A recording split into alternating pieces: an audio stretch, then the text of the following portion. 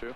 But his preparation, his teaching, his coaching has been just superb. Uh, the linebackers that come out of Penn State are so well schooled. They step right in and start in the pros. Yes, I've noticed so many linebackers come, Oh. as you say, come straight out of Penn State and they make Yes, an impact in, Oh. in, in the big league. And they do it and do it immediately. And year after year, they have this outstanding defense, don't they? Whatever happens with the Nittany Lions, Yeah. they've always got a tough defense. I think the reason they lost the first two ball games is probably because they had a couple starters as sophomores, and that's tough to do. You, they always say if you got a sophomore starter, you're going to lose a ball game. Wayne, let's bring you in briefly. How do you see today's game going? Well, certainly they've got to redress the situation about last week Andy Kelly passed for 399 yards and they lost. Uh, Lou Holtz has got to do something about his, his secondary because uh, he can't keep giving up over 400 yards in passing and uh, nick a win in the end. So I think that's where he's got to improve. He's good against the run. He's got to do something about the pass. As we see a telling stat there, the Lions are sixth in the nation in stopping the run. I wonder what Lou Holtz will have to say about that, John.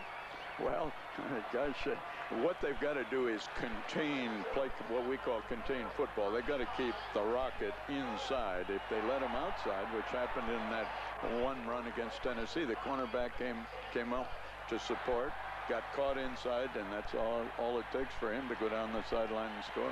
Now, Wayne and I are big fans of the Rocket, and we think he should be the Heisman winner. What about what about you? What, how do you rate him? Well, there are some outstanding players all over, and uh, uh, you give it to a junior. I don't know whether that's a good policy. I, I tend to think the seniors should Well, get it. the game is now underway. Let's go and join our regular commentary crew of Paul Hornung and Ted Robinson. Goes Kenny Spears, and Notre Dame will get good field position after the opening kick from Craig Fayak. And Joe Paterno trying to use a little trickery there. They came right out of the huddle and just kicked it as quick as possible. Kicked it to Kenny Spears, and then once again, look where the football is. The ball rests at the 37-yard line. That's pretty good field position to give up because you don't want to kick it to the All-American back there, the Rocket. Ricky Watters starts at tailback behind Rodney Culver, and Watters gets the ball on first down, and he is wrapped up at the 40. Frank Giannetti, 85, at the bottom of that pile. He's the best defensive lineman for Penn State going against this offensive line for Notre Dame that has been the unsung hero of this year's team. There's your offensive backfield, same as usual with Ricky Watters getting the start at tailback off. He's great week last week against Tennessee, 170 yard plus rushing. And His career best. Jerome Bettis, the freshman, is the fullback, leading the blocking here for Watters. And a good tackle in the open field there by Darren Perry. Stops Watters at the 44. The, your defensive line for Penn State. They're not very big, but they're quick. yeah, the outside linebackers are quick there, Givens and McKenzie. Darren Perry, that hero back number nine, made a good open field tackle on Watters. But Deanna Frio, 38, is their best linebacker. Penn State in a 4-3, four down linemen and three linebackers with the safety up close. And they're changing it. I think Rick Mirer's changing it. On third and three, he's going to give it to Tony Brooks, and Brooks has a first down with a good at this. at the 50-yard line. A six-yard pickup, and he got three extra with determination.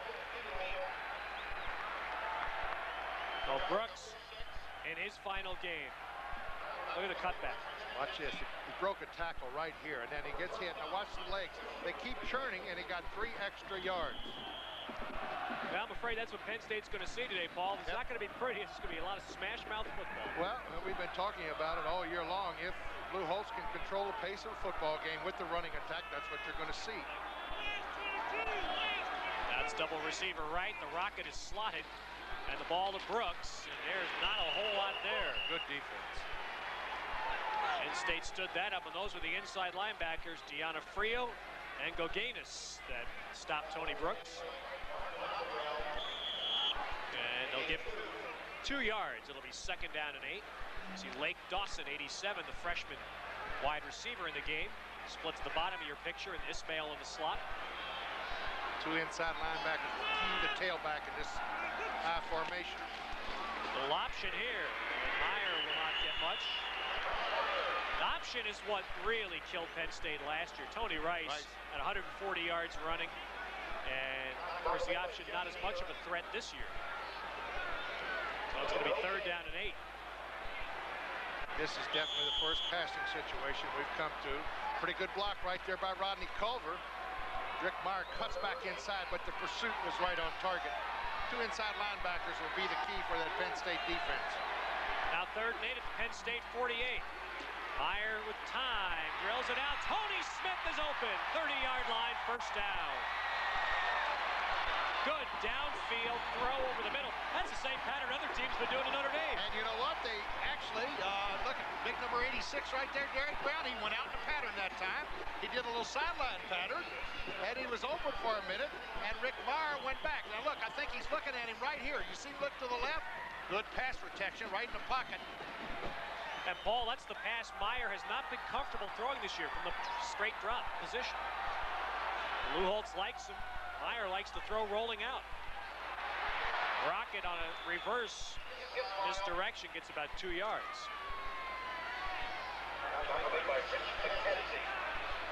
And it'll be second down and eight at the 28 at Penn State.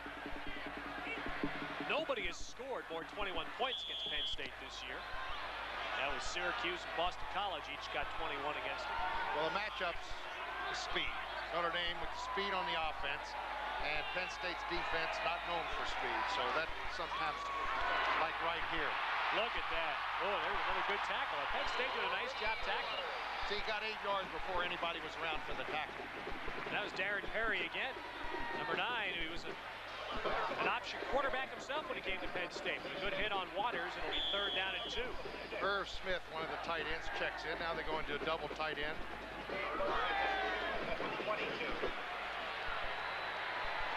Tony Smith comes out.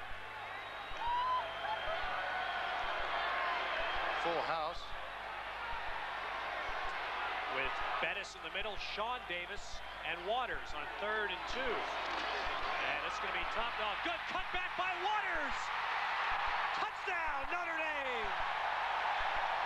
Was that a hole off the left side or what? Oh, Ricky Watters. 404 yards in that big game against Tennessee. And he picks up just where he left off. His eighth touchdown of the year. 22 yards off the left side, kid.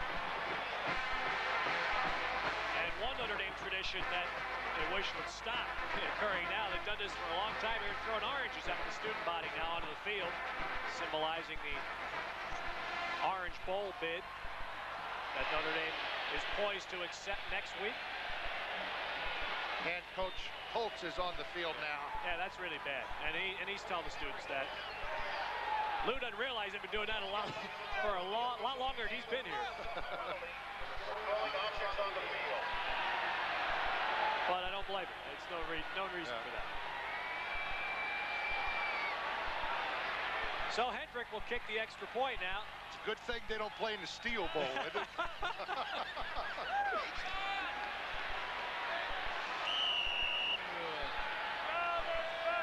Can't throw cotton. and the extra point good. So Notre Dame takes the opening kickoff, goes 63 yards. Watters with a touchdown, and Notre Dame leads 7-0. As we pause now for a regional break. Sports Channel America's coverage of Uh, from the Fighting Irish, they lead 7-0. Uh, let's have a look at some of the action. Here's Tony Brooks, first of all, John. Well, they missed that uh, tackle there in the hole, but uh, two players got caught inside. And then That's they take to the air as well. This is uh, Mirer looking for Tony Smith. Well, he looked off real well to the tight end, got single coverage back over here, and uh, able to hit the common uh, uh, slot pattern. This is just great running. Actually, the play entry wasn't too bad defensively by the 11 people, but he just made a great cut. Well, we just uh, just saw, saw there. We've just missed the kickoff. Let's have another look at that, uh, Wayne. Yes, uh, he's making an, an excellent cutback against the seam there, and the linebacker came in on a stunt, but uh, he just Watters just outran him, and just a great play by Watters. Now, John, this has got to be superb news for Coach Holtz because, as we all know, it is so tough to run on the Nittany Lions, and they've more or less done what they wanted in that opening drive there. They, they certainly did. Only one pass. That's right. Anyway, let's see if Penn State can respond. This is a first down pass that just goes over the head of the receiver. So Penn State coming up with an overthrow there as we just go through their offensive alignment. Let's go over and rejoin Ted and Paul.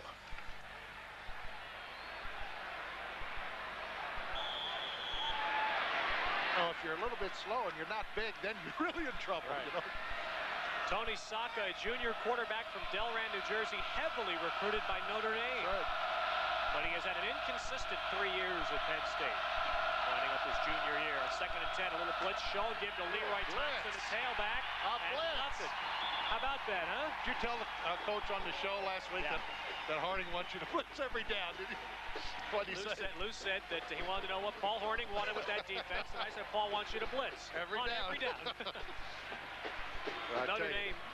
There's looking- your defensive line, which has been there all year long. Chris Zorich is on the nose tackle now. He's not 100%, but you just can't keep him out of the lineup, Ted. Uh, he's the kind of kid that, uh, you know, just if he can walk, he'll play. Third and ten. Four receivers had a lot of time, and now Sacca to try and run, and Scott Kowalkowski, who's lining up as a down lineman on this first series, makes the tackle. And that was good coverage downfield by the pass defense, which is, uh, if anything, that's been the Achilles heel for that Notre Dame defense. Everybody was covered, and a four-man pass rush, and that's very key, I think, Ted. They got Kowalkowski and Devon McDonald. He'll be in a four-point, uh, three-point stance rushing the quarterback today. Now Doug Helkowski to punt it. Rocket is deep. And a low line drive. You better be careful here. Actually, that punt was so low the blocking couldn't set up. And Rocket got to the 41-yard line. Still a 12-yard run back. And Notre Dame will start at the 41. Early first quarter, Irish lead at 7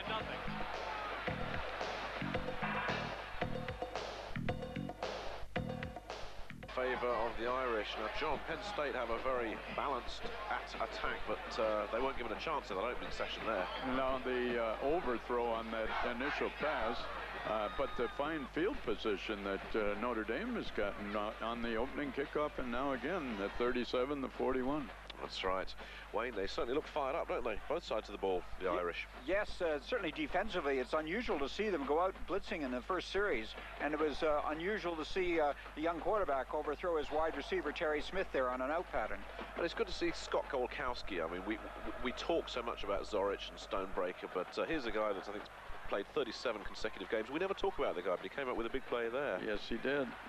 Good tackle. They had a stunt going inside on that pass rush on third down and and uh, forced the quarterback to run with the ball.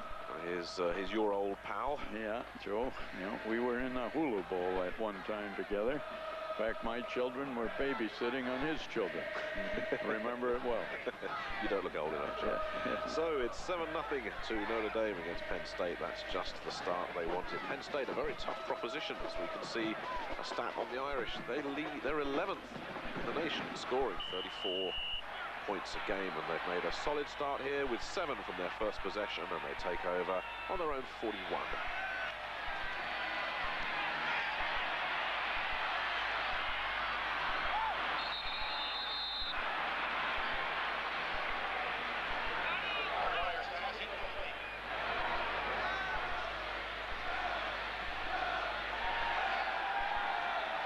Watch a replay here. He's in the slot, and here's what happens. Now he's trying to go down. He slips, and that, of course, forced the quarterback out. He's still open, but he didn't see the free safety over there. Really had him uh, covered quite well, and that's Darren Perry. Second and 10 with Watters, the tailback. Fullback is Culver. Just got tripped up at the line. And fell forward to gain a couple. Goganious, 42, inside linebacker. Where Penn State made the hit. And it's going to be third down and six for the Irish. Ismail comes back in. It's interesting, Paul, to listen to the controversy, and not controversy so much as discussion all week long from different parts of the country about his Heisman hopes. Some people think they won't vote for him because he doesn't touch the ball enough. Well, I I don't you don't know how anybody for that. I don't know if that is a good reason at all not to vote for somebody. I voted last week. Dumps it out. Nice catch by Derek Brown. No, look at here. The tight end to the 32 of Penn State. Is he something or what? He's like a a big runaway truck when he gets a hold of the football. You're looking at number one draft choice. I don't care if he catches three, three catches a year. Derek Brown, the big tight end, is a definite threat when he catches the football. He just runs over people. There's a little delay over the middle. Look at those hands. There, right here. Breaks a tackle. Two. Perry's just trying to bring him down. He drags him another eight. 23-yard pick. And a nice play because I think that was a secondary receiver. He's looking at Culver running down the near side. Here's Culver running up the middle. And that's going to be about a nine-yard gain. Well, Notre Dame looks good offensively today. Early going, they haven't had too much problem offensively. Offensive line blocking well, and uh, seems like everything's working. In every game this year, except Michigan State, the Notre Dame offense has not been stopped. They stopped themselves against Stanford. Right. And Michigan State's the only defense that has stopped Notre Dame this year. Boy, Culver's putting together a great year statistically. 630 yards. He's averaging five yards a pop. Well, that play is not going anywhere as Mirer dives forward. He's going to be just a bit shy of the first down stick. It'll be third down and about a foot. With that much time remaining in the first quarter, Notre Dame leading 7-0 and trying to add to it. Uh, this is a situation here where the defense wants it measured. They know it's not a first down. Just gives them a little break.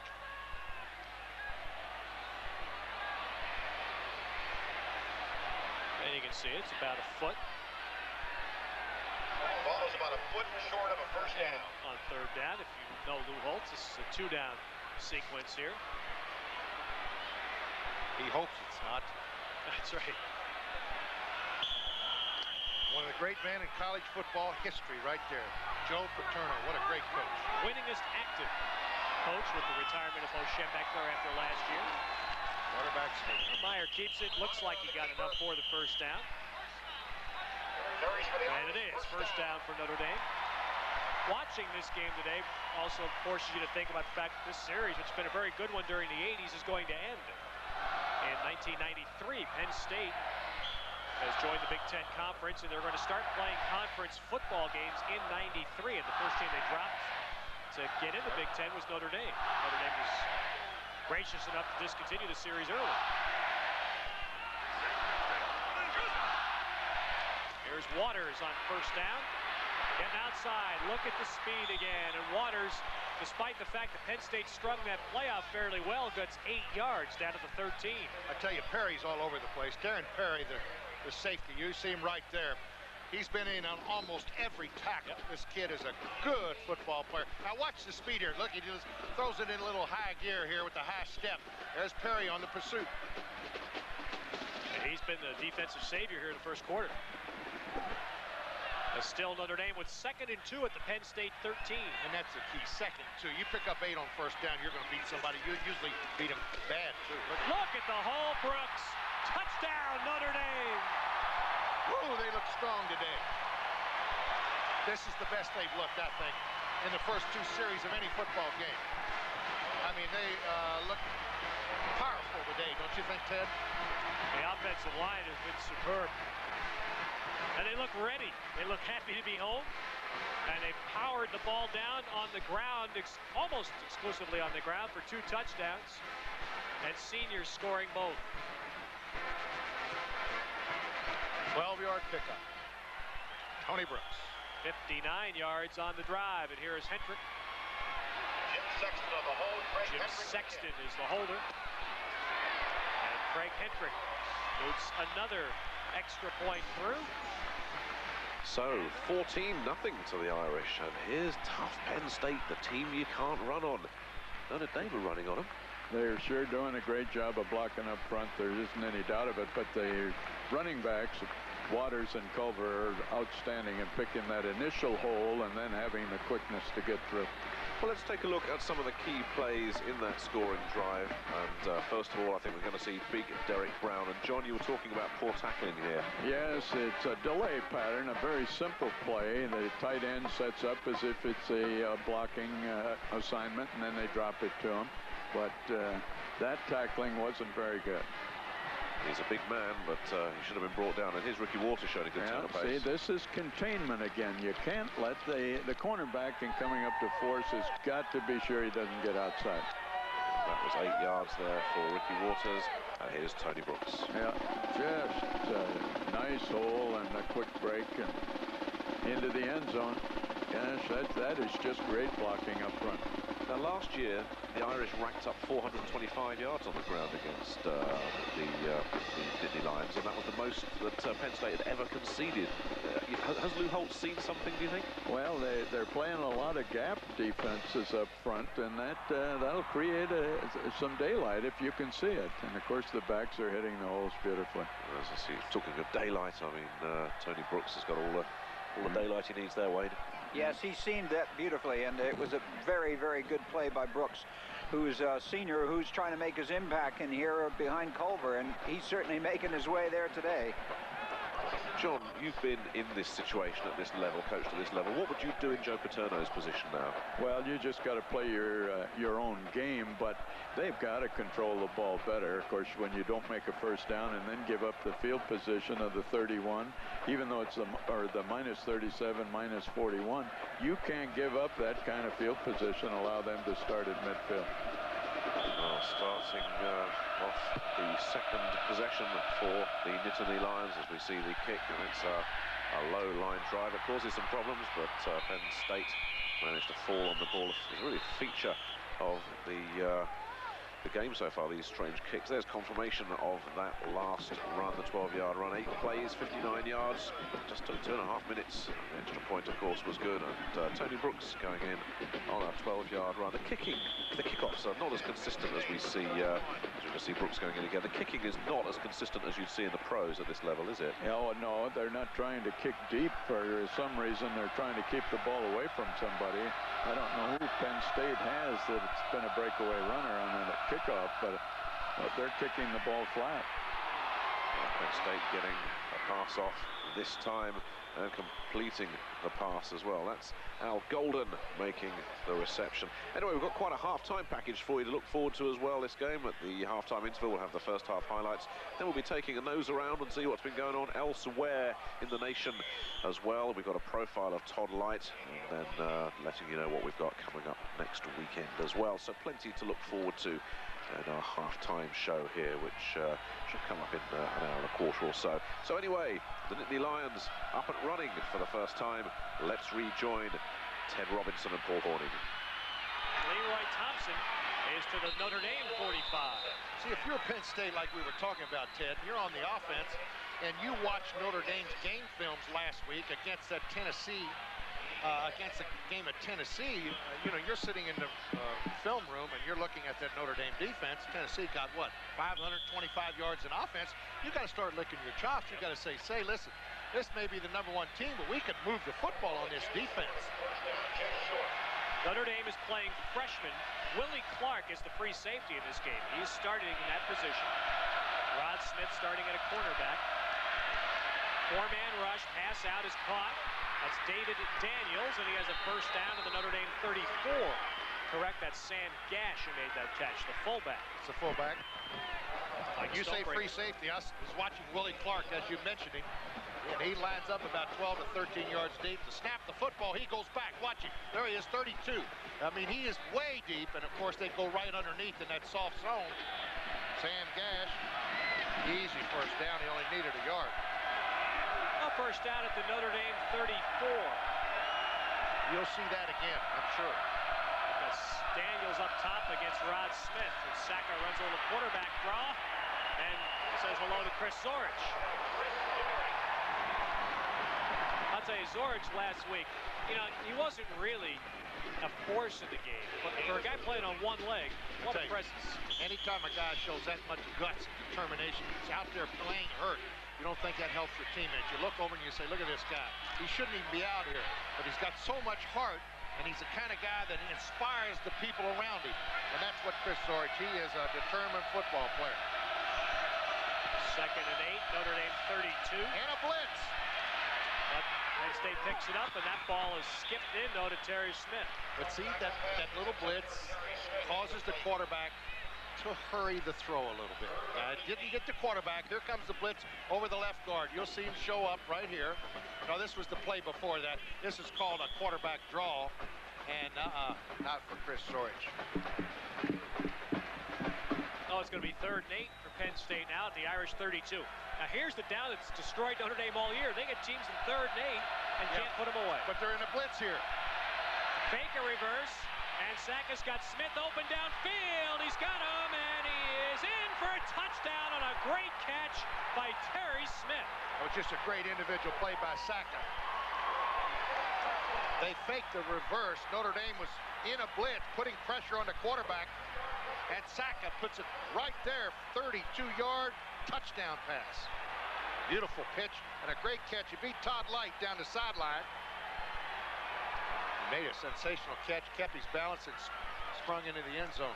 We'll take another look in a minute. Well, I tell you, third and eight, third and ten, third and 12, and Notre Dame just absolutely snake bit this year. They can't stop anybody. Point after. And Fayak kicks the extra point for Penn State. Craig Fayak, a freshman. And at 4.29 to play in the first quarter, it is now Notre Dame 14, Penn State 7. More offense galore. Game now the 32-yard pass. And John, we've seen it all year. Teams can beat Notre Dame in the air. See, the fake reverse uh, really held the defense. The receiver started across and then broke back to the corner and got open. Great catch. And a smart play as well. And Yes. uh, well, well executed. It's very timely. They had to come up with a score. Uh, given you can't spot Notre Dame 14 points and not come back and get something. Is that straight out of Joe Paterno's playbook, or would that be one of his assistants? No, that uh, that'd be a standard play. Uh, fake reverse pass. Uh, I think everybody has it in the playbook somewhere. Now, Dame do have this vulnerability uh, in the air. We've seen it all year. We saw Stanford, of course, exploited Yes. it to perfection. What do you think the problem is? Well, you're not getting a rush on the quarterback. Uh, in that particular case, he just had a lot of time, and when he stepped up and avoided the single rusher that was in there, why, see, see how much time he's got to throw this ball? That allows that uh, receiver to go down in the secondary and really go to work. That's a great play, great effort. I'm not so sure he wasn't down just before he got in the end zone, but it's still a great play. We'll give him the benefit of the doubt. It's Terry Smith, by the way, we uh, we believe, not Tony Smith. But uh, let's see if the rocket is going to launch himself. Notre Dame leading by, and once again, they've, uh, they're scared of the rocket, aren't they? Uh, well, i i you know, sometimes you're better off to go ahead and kick it deep because look at this. They, they're just giving up uh, terrible field position. You can't allow that first first down to be given up on the kickoff. And it's happened all the time. Let's just have a look at this touchdown pass from another angle here. We see Sacca with all the time in the world. See how he went uh, across and then broke back? You normally wouldn't get that much time. Not often you see light. He was down, wasn't he, Yes. John? You're right. He was, he was, he was a good yard away. But anyway, it doesn't matter. It's 14-7 to the Irish. Ricky Watters, the ball carrier, on first down. That's Richard McKenzie, 99. And was the key man there on the hit. Darren Perry also. Man Perry again.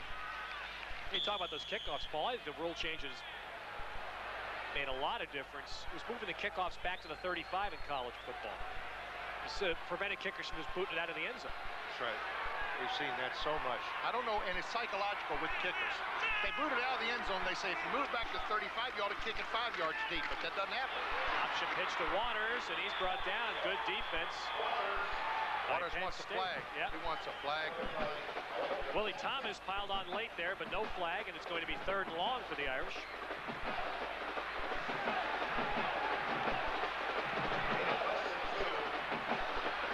Ball just shy of the Notre Dame 42-yard line.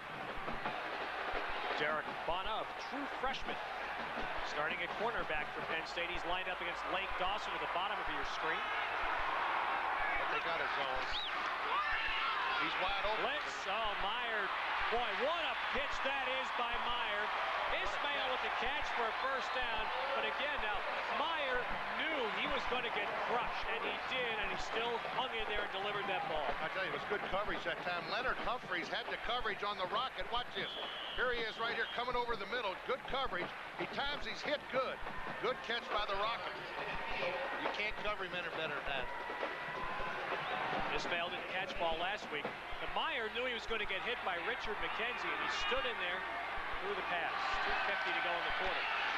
Gonna throw another one. Go down the field. The Rockets out there. Just overthrown. Oh, he wants that one. He knew that was six. The Rocket ran his post pattern. Nobody's going to keep up with him. He caught him in a perfect defense. Man to man. Now watch the Rocket. He's licking his chops right now. He knows he's just going to run right by him. That was Leonard Humphries again. He covered him last time, set him up with the little hook pattern, and then he ran a post right by him. And look at Rick Mirer. He knows this is six. He cannot believe it was a little overthrown. Oh, it's second and 10 at midfield. Quick handoff to Brooks. And nice job by Brooks. Darting and dancing through the middle of the line, and he gets the ball to the 44, Penn State. Goganious on the hit, third and four coming up.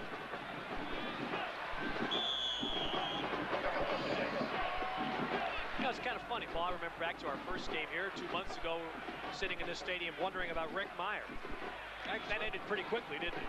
It sure did. He's had a wonderful year. He's quarterback Notre Dame to eight victories and one loss, and he's just been sensational. He's shown a great poise. And I want to tell you something. I think the Rocket will win the Heisman, and I also think, as Ricky Watters gets the first down, I also think that Rick Mirer will win the Heisman before he's out there. How about that? Wow. Do you think the Rockets going to win the Heisman this year? Absolutely.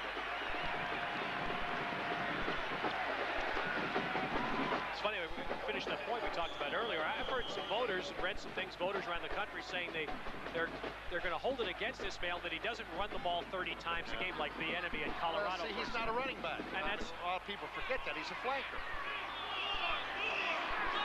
Nobody changes a game like Ismail. No, nobody. Culver on first down inside the 35. D'Onofrio, 38, makes the hit for Penn State. U.S. Sprint presents the U.S. Olympic Showcase on Sports Channel America, the Soviet National Basketball Tour, and it wraps up at the Carrier Dome in Syracuse. On Monday night, exclusive coverage live at 7.30 Eastern on Sports Channel America. Now it is second and six. The Penn State 34, trips left, and Mirer changing at the line. Movement. Nobody, no flags. Look like offside. Mirer takes a hit. Deanna Frio nails him as Mirer was looking down for William Pollard. Uh, that's what happens when you change the play a lot in college. A lot of people miss it. They just they're not used to picking it up. And you see Mirer over in the sideline. Here's your linebackers here. Your Johnson on the outside. Here comes your inside linebacker makes a spot on Rick Mirer. It was Mark D'Onofrio. You want to hear something? He's a kid that's been benched by Joe Paterno earlier this year because he's too exuberant on the field. He's getting late hit penalties. Usually don't usually don't like to curb that in your football players. Third down and 11, everybody out. Man open down the middle. And Mirer to the 35-yard line is it. And it's going to be a tough choice now for Lou Holtz because a field goal here would be better than 50 yards and they need about seven for a first down. You don't really want to punt when you're at the 35 either. But Lou Holtz will get a quarter break to think about his decision, and as Notre Dame changes ends of the field, they'll have the wind at their back, which may affect the way that Holtz chooses to approach it also. After one quarter, Notre Dame 14, Penn State 7 will return to Notre Dame Stadium these messages.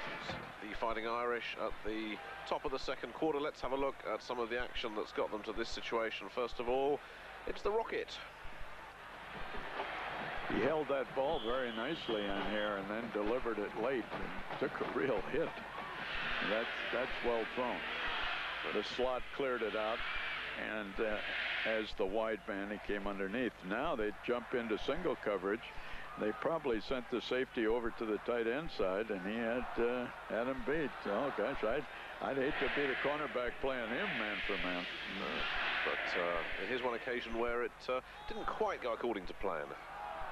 No, this, this was a great play by the linebacker. Got outside the tackle spot. So that brings up an interesting fourth and seven, and as we've said, it's uh, almost a, a, waste of a play to punt it from there, but it's a long field goal job. What would you do in this situation? Oh, I tend to pooch the punt, uh, just kick it up high and see if we couldn't recover it inside the 10-yard line. I, I'm more inclined to be a little conservative here and, and just force uh, Penn State to make a long drive. But obviously, Coach Paterno must be a little bit happier now. Um, he's uh, he's seen his offense get on track and he's seen his defense start to. Defense finally uh, uh, stopped them, but I think they weren't they lined up for a long field goal. I didn't. Well, uh, we'll uh, soon know. It could be another bit of Lou Holtz trickery. I'm not sure. It does look indeed as if they're getting ready for what would be a hefty 53-yard field goal. That's going to be. Let's go over and uh, find out what's happening.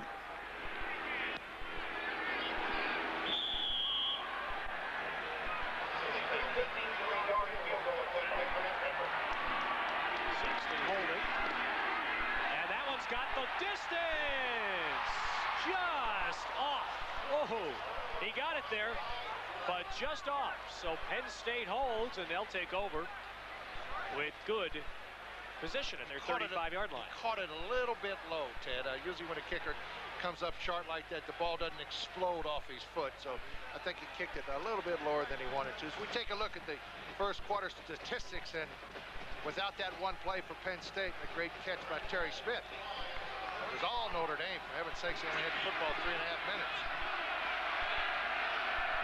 Sacca at first down as Terry Smith go in motion. Pitch to Leroy Thompson. Whoa, Leroy Thompson has a first down. So suddenly Penn State getting its offense on court. And Thompson, you know where he's from? Knoxville, Tennessee. How did he get away from the Vols? Here's the pitch out of the eye. The fullback does the job up in front. Right there, everybody's controlled the line of scrimmage. Big bad Leroy got a, a first down for Penn State. It was Willie Clark, freshman free safety, made the tackle. First down, Chip LaBarca in motion. And they'll try Thompson this way. Stonebreaker got blocked, and there's more good yardage to the Notre Dame 45 before Clark has to come up again.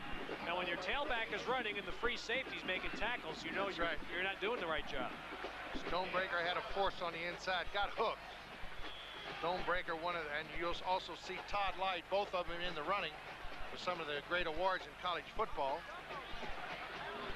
Todd Lyght for the secondary award, Jim Thorpe award, and of course Stonebreaker I think is in the final of the Butkus award.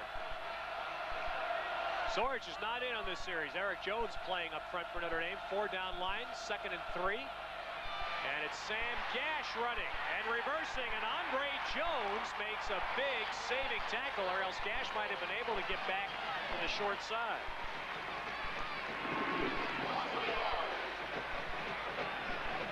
Zorich watching this series. A lonely figure. Now, Notre Dame doesn't have great speed with those third down linemen either, but what happens, Gash tries to come back against the quickest of those down men, and that's Andre Jones. You're not going to outrun him. Now it's third down and four at the Notre Dame 46. So the defense here looking to come up with a big play and a stop. No pressure, and that one's caught by Thompson out of the backfield, and he has a first down. Stonebreaker the coverage the 39-yard line. There's that little underneath pattern. They cleared it out. Thompson cut back to the inside. You see everybody dropping back right there.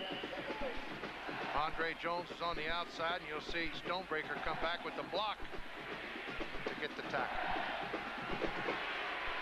Penn State and thrown the ball a lot to running backs, but neither at Tennessee before last week's game. That's obviously a play that's hurt the Irish. There's one way overthrown. That's the first ball thrown to David Daniels in the game, and it's way overthrown. Daniels, their top receiver. And it second down and 10.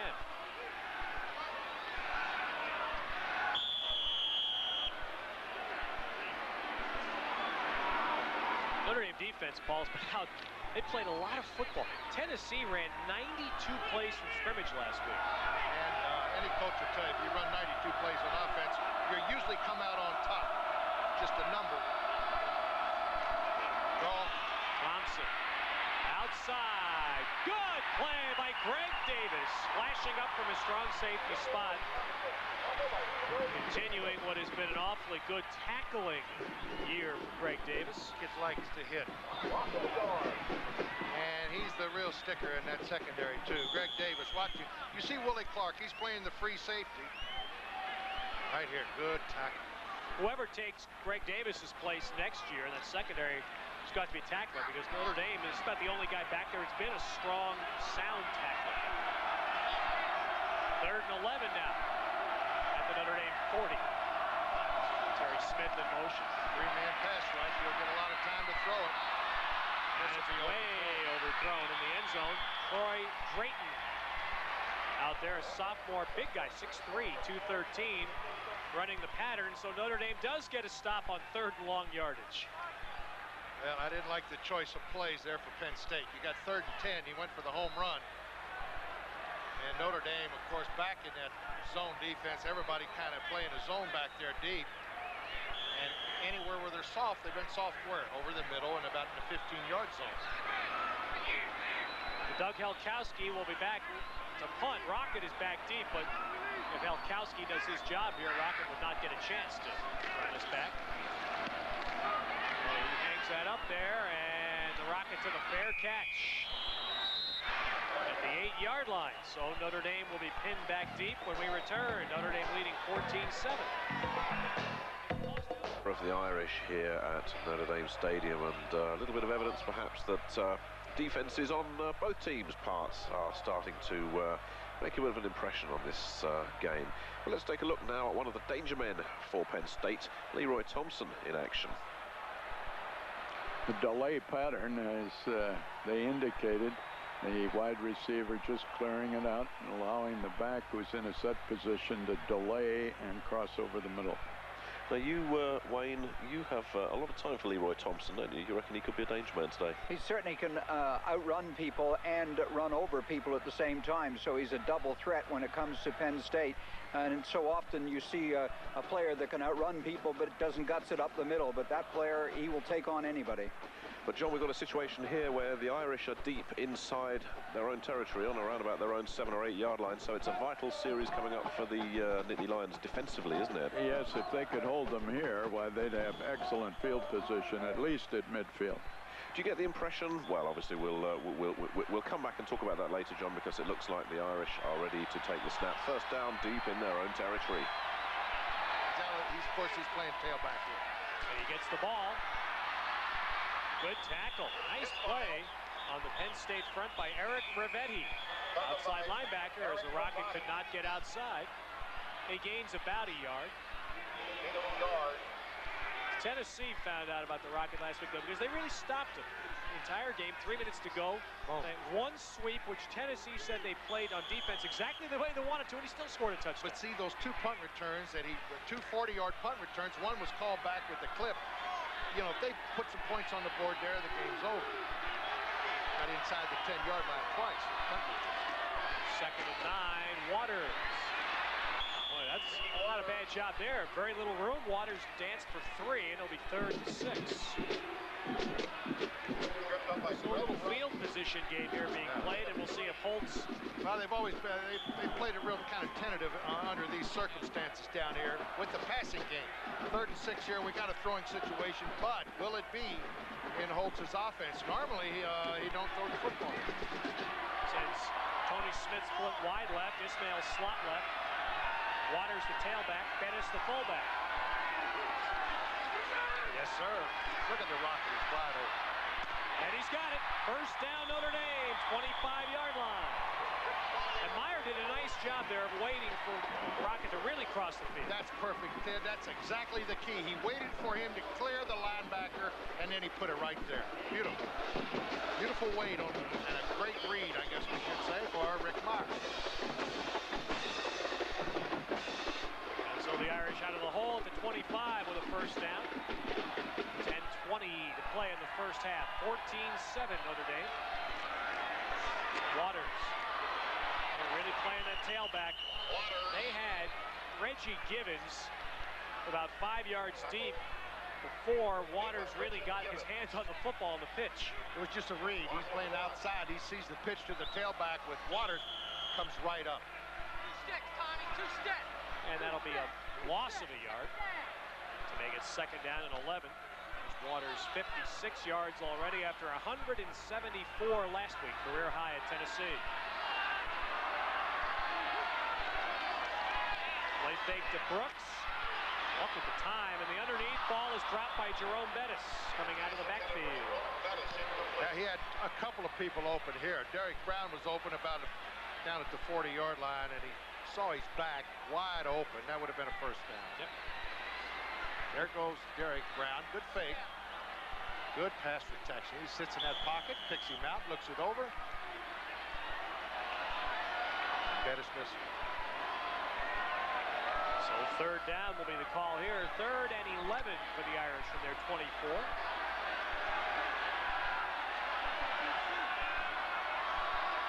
like to see him get it to that big tight end. He's out. On the rocket. Good catch at midfield by Ismail. First down Notre Dame. Show you, shows you the strength of that arm too, Ted. He, he rolled out to his left, put it right on the money, 25 yards downfield. A little back against the grain too. There's the rocket. That's his third catch today. There it is. It's a deep. Now he's double covered there. You, there you see it. Look at the respect, Paul, how much they backed up for Sure. him. And that's why he's going to be open underneath all day long. Now, when you catch him man to man, that's the time when he can run by him. And a reverse here, and they give it to Ismail. And the play goes for about five. So Notre Dame has had the ball four times, and they've gotten it into Penn State territory on each possession. Ismail running to the 45 of Penn State. The Rockets got three catches for 48 yards. They'll slot now left with Ray Griggs wide left. Watters the tailback. See, they put Perry over there, number nine. He'll be one man on him. Over inside, not much, and short of a first down. Notre Dame is just patrolling the football with these sustained drives. Penn State hasn't had the football over six minutes this whole ball game.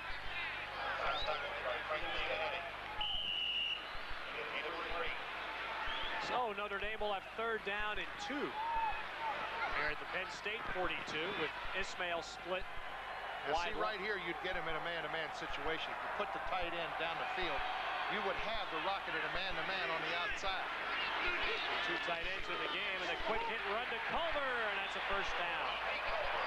You don't want to throw it there when you got a running attack like Notre Dame. 36-yard line of Penn State. Willie Thomas out of the secondary made the tackle for the Nittany Lions. Notre Dame gets inside the 20. There you see Penn State doing all it can. And just a great hole off the right side. Needed a couple of yards. Culver got it.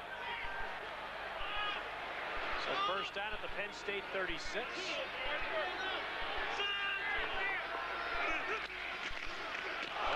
and let's see. I don't know if Mirer got that ball back.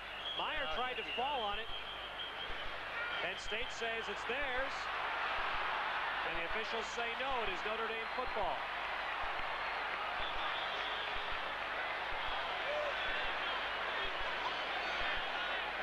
Take a look at it. Ground level. There's the ball. Ooh, still, yeah, he's got it in there. Underneath that pile, Rick Mirer got it back. But the Aaron exchange loses six yards. So this drive's been kind of a, a backwards and forwards drive. Second 16 now. Culver the only setback. Sprint out throw. Good and a pitch to Sean Davis for a first down. That's one of the best pitches he's had all year long right there. He rolling left on the run, rolling to his left. Perfect pitch. Sean Davis caught it in full stride. Watch this. Out of the trips, he'll cut to the sideline here. He's in the slot. Sean Davis, there he is, going by the 25-yard line. Ball is right on the money. 23-yard pickup. And the Irish have first down now at the Penn State 19.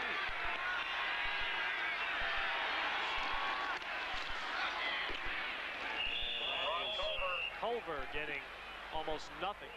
You know, funny thing, Paul, watching this game, we, we focus so much on Ismail as a wide receiver, but all year long, Notre Dame has used anywhere from six to eight different players as wide receivers and throw the ball to all of them. They really have. They've got great receivers. They've got great speed in the receivers. They also have great running backs and great speed in the running backs. So that's where they'll knock you dead right there. And this offensive line has just gotten better and better each week. Now Derek Brown splits wide up to the Oh, top of your picture. this? We haven't seen this all year. Second and nine, inside Watters. And Watters, first and goal for the Irish. And he's pumped up too. This is last game here. Take a look at Joe Paterno over on the sidelines. He's not too happy. And I'm sure this guy was recruited heavily Oh, by yeah. Penn State. That's why from he's- Harrisburg, Pennsylvania. That's why he's not happy. There it is, a little rollout draw almost. Good blocking up front. Tim Ryan, Mirko Jurkovic, Mike Heldt in the middle of that line doing the job. Winston Sandri's in there at right tackle. First and goal to seven. A rocket on a sweep. Good cutback. A second one, a third one. And the rocket is down just shy of the goal line. Oh, it's exciting. He's got the whole crowd comes up. They get up every time he touches. Ricky Watters comes in. He's not excited. Watch it. Watch this cut back to the inside. This is great instinctive running. Rodney Culver missed his block there, but the rocket almost gets in. He got hit by two men at the two-yard line. Full house backfield on second and goal. And Culver just down, inches. Stop inches short. Inch short. And it'll be third and goal. Sean Davison now with the play from Holtz. It'll be Culver in front of Brooks. Two tight ends. And Mirer keeps it and he's in. Touchdown Notre Dame. Rick Mirer sneaks it in. And that is a 92-yard drive for a touchdown. Well, it showed you a little something right there. They needed a good, long, sustained drive, a couple of key third down. There it is right there. You see the guy playing on the nose went to his left and opened up a little crack in that defense. Rick Mirer snuck right in behind it. There it is. And the linebacker just couldn't get there in time. That was Keith Goganious.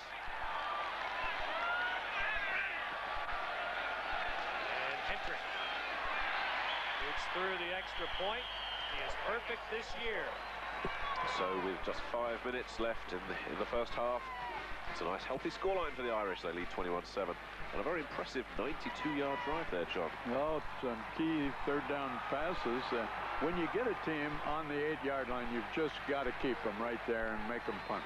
Well, let's have a look at some of the action from the drive. Here's the here's the pass. Reception, first of all, from number 17, Davis. Yes, that single coverage on the slot, and they, they just hook up the outside receiver and send the other one to the flag. This is great running, isn't this uh, something? Look at that cutback. And you can't arm tackle him, even though he's a small guy. He's got a lot of power. Yeah, just a little fella, but uh, he knows what to do when he gets the ball. And uh, I think, John, before the uh, the play there, you said quarterback sneak, didn't you? Oh yes, if you're that close, you always uh, don't take a chance on handing the ball to anybody. You just go behind your offensive line.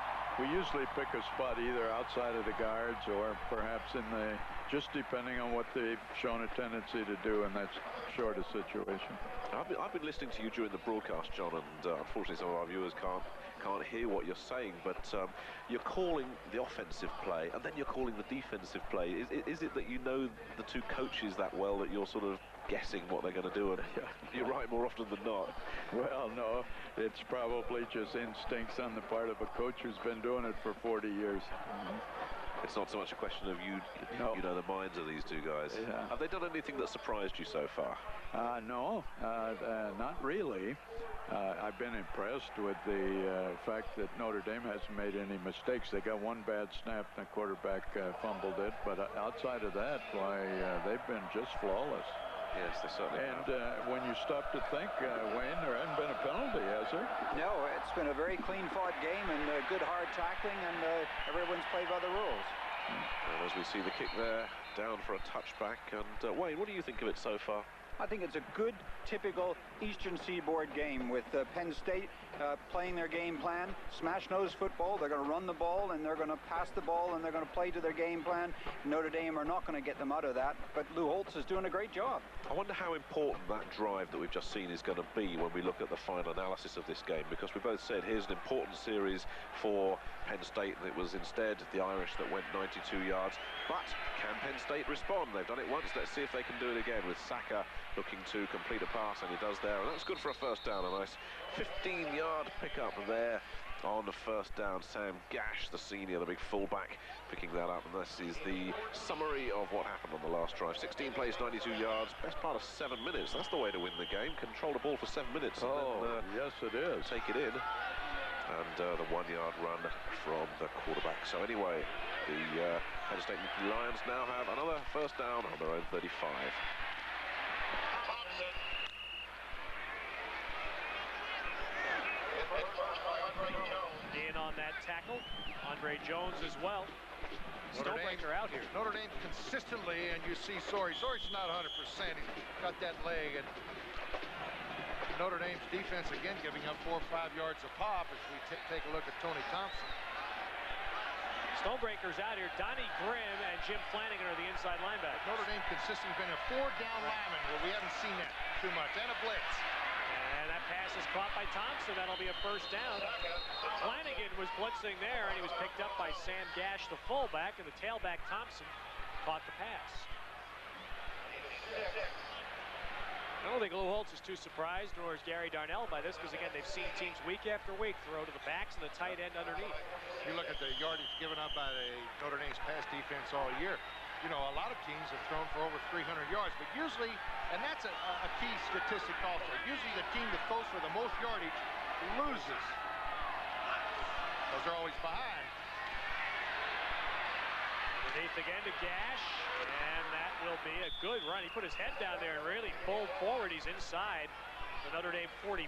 The Irish didn't, can give that pass up, but they didn't surround the receiver very well once he caught the football. It seems like the defense guys are so cognizant of getting beat deep that they, you know, give a little bit too much ground. Everybody's open uh, in that soft zone underneath.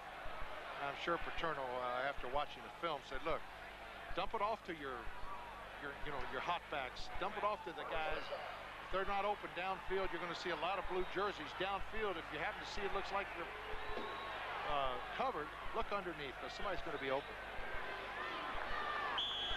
Well, that's a first down by inches at the Notre Dame 44. Eric Jones up front on this set.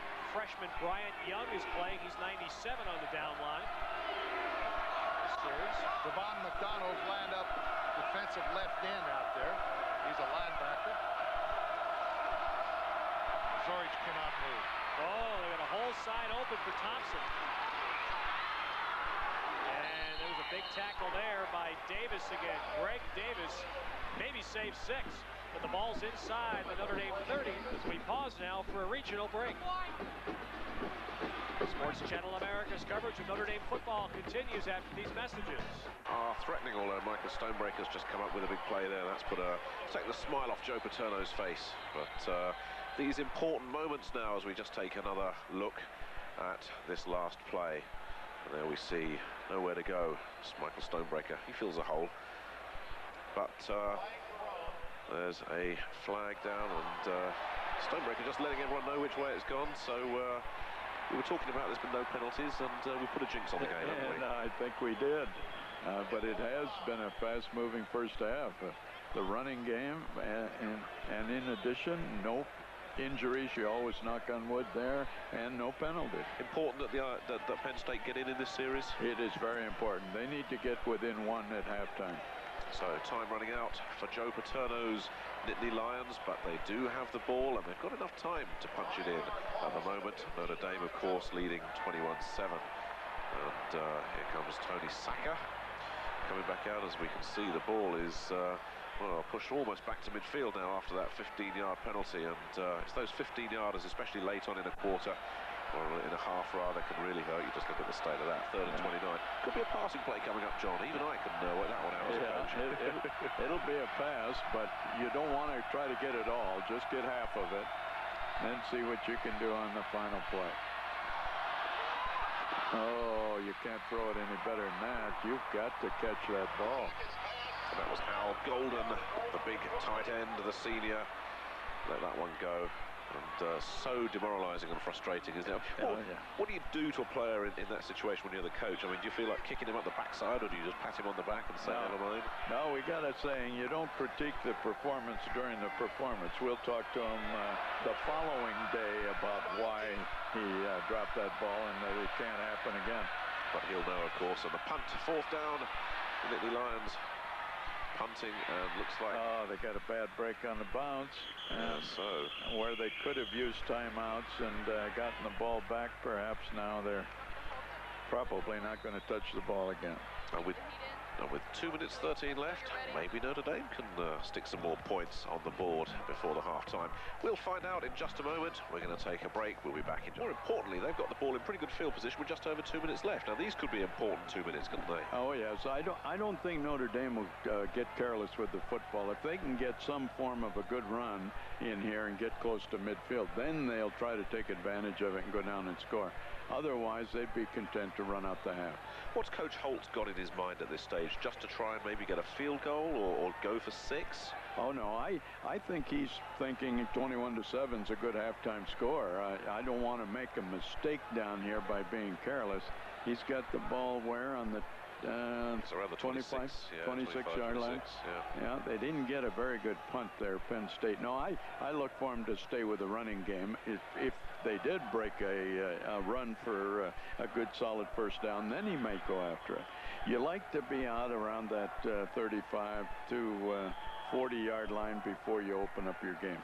As we just see the comparative play selection there, Penn State passing a lot more and uh, the Irish running the ball. Let's see if Coach Ralston is correct in his assessment.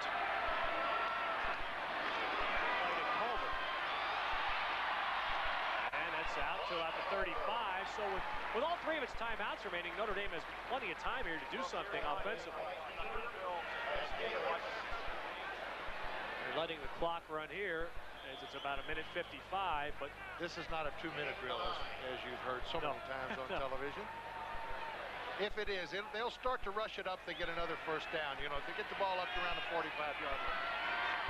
Second down is short yardage, and Brooks gets about six more. Uh, here's a point now where if you're at the 41-yard line, you only need to complete two passes right. to, to be in a chance to kick a field goal. Jim Dieter, the nose tackle, made the play for Penn State. Of course, the clock will stop till they move the chains up. They set, now that here they go. Clock's running now. Notre Dame quickly out of the huddle. Tony Smith and Ismail both go wide left. Watters the tailback behind Culver. The Rockets got two men on him. Tough throw there. And Tony Smith. The intended receiver Humphries on the coverage. That's the same ball Mirer threw to Sean Davis on the last drive.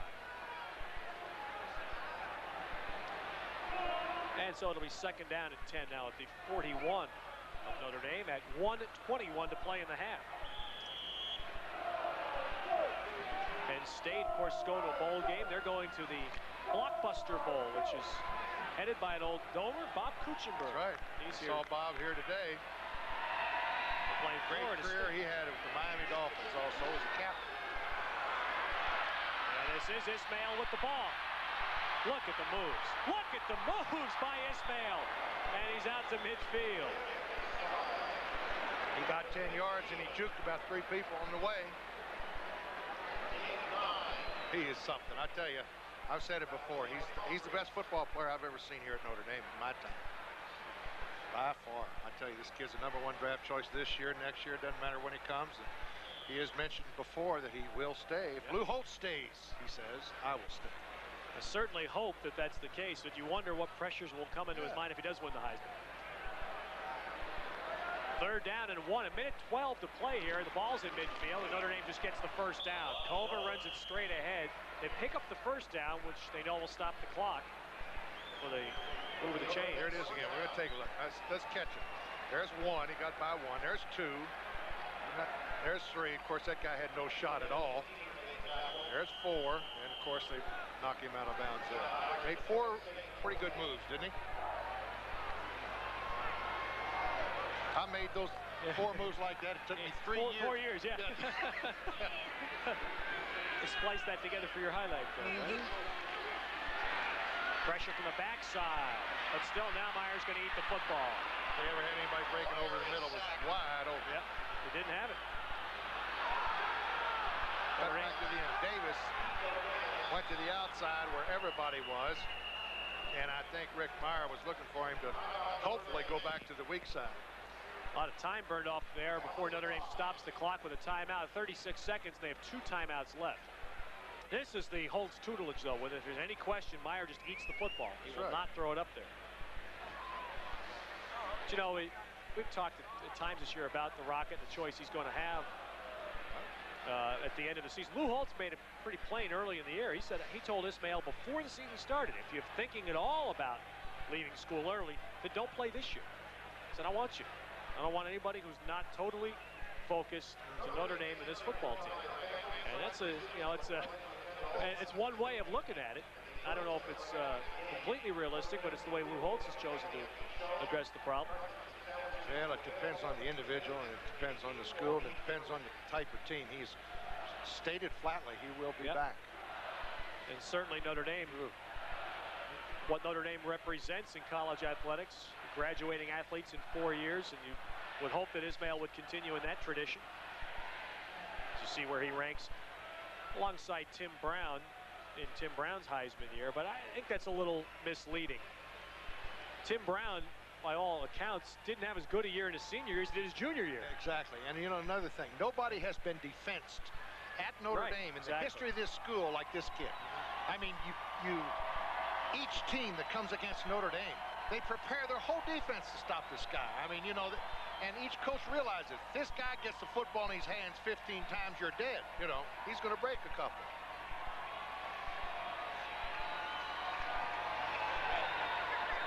I honestly believe if he played tailback the whole season, he'd gain close to 2,000 yards. You know, if he were in a tailback-orientated offense, or they let him play, you know, they let him run the football 20, 25 times in this offense here, uh, he'd be leading, one of the leading rushers in the country. He's that tough.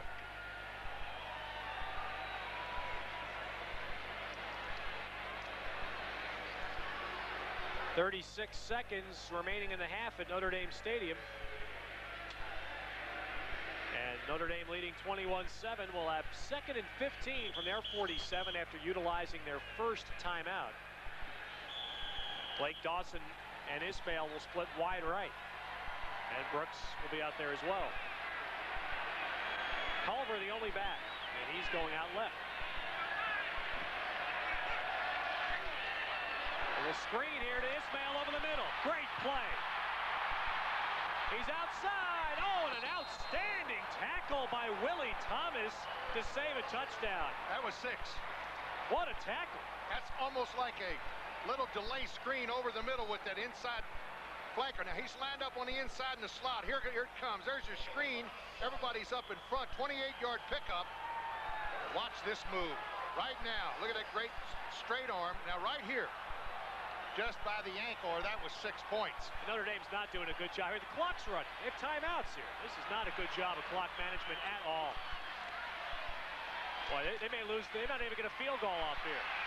And Mirer throws it away wisely. That was just absolutely horrendous management of time and timeouts by Notre Dame because now you're down to seven seconds and Notre Dame still has two timeouts. Yeah, they could have uh, had an incomplete pass here, and there would have been 30, at least 30 seconds still left. They ran off 30 seconds, as Tim said. Now, in college football, we'll, we, we re- reiterate this. They do stop the clock till they move the chains. But if you're not ready at the snap of the football, to, as soon as they say, right. you know, let's go, you still got timeouts left, you're absolutely right. You could have called one. That's a, one of the biggest differences between college and pro football right there. A school like Notre Dame, they don't work on two-minute drills and clock management. And here you're going to have a, a half end with Notre Dame holding two timeouts. No reason for that. Hentrich's field goal attempt is no good. Well, that's just a shame. Notre Dame had no excuse at all for not coming out of that drive with points. And they get nothing as Hentrich misses the field goal. But it is, again, this is part of the game. They don't work on, on when to call timeouts and running the clock down in the final minute. And as a result, you get a, a, a drive that should have had Two points more. come away nothing. Could have had two more plays. Oh, you know, should have at had least. two or three more. They can't improve on their position. They're number one. That's right. They're on the post position, That's right? right. Running on the rail at number Running one. on the pole. Sacca dumps it out, and it's caught by Jerry Collins coming out of the backfield, and he'll get a good gainer up near midfield as the first half ends. Picked up about 25. Hell, Notre Dame had three touchdowns and missed two field goals on their five possessions in the half. Dominant offense. They lead 21-7 at halftime at Notre Dame Stadium. We'll have the second half in a moment. Each other, but Holtz really seems to have done a number on this occasion, doesn't he? Yes, certainly. He's got them G'd up and playing well. But Penn State get their hands on the ball first here in the second half.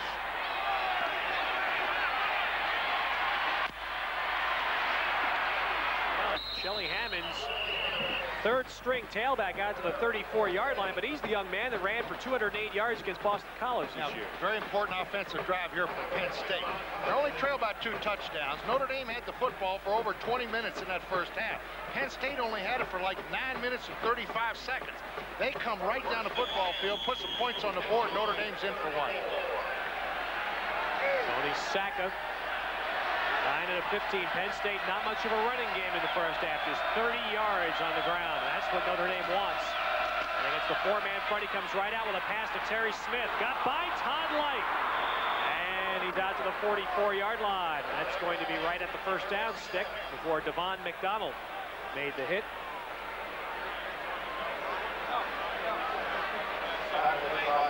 Here's your first half stats. Notre Dame uh, will own the stats. Look at that, though. That's the most important one.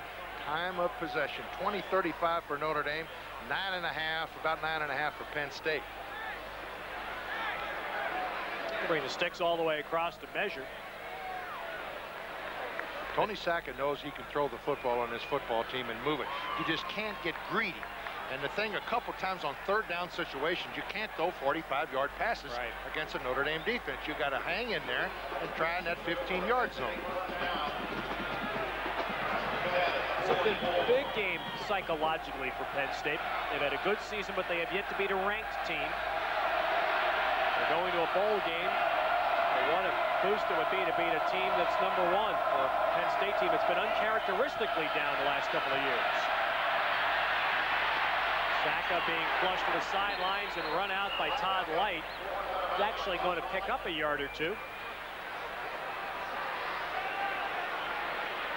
And it will be second and long. Tony Sacca, who was a great three-sport athlete in high school in New Jersey. He played so, so well in basketball, Paul, he broke his school's scoring record in basketball. You know who set the record? His older sister, who is a player at Fairfield University now. Tony Sacca broke his sister's school scoring record.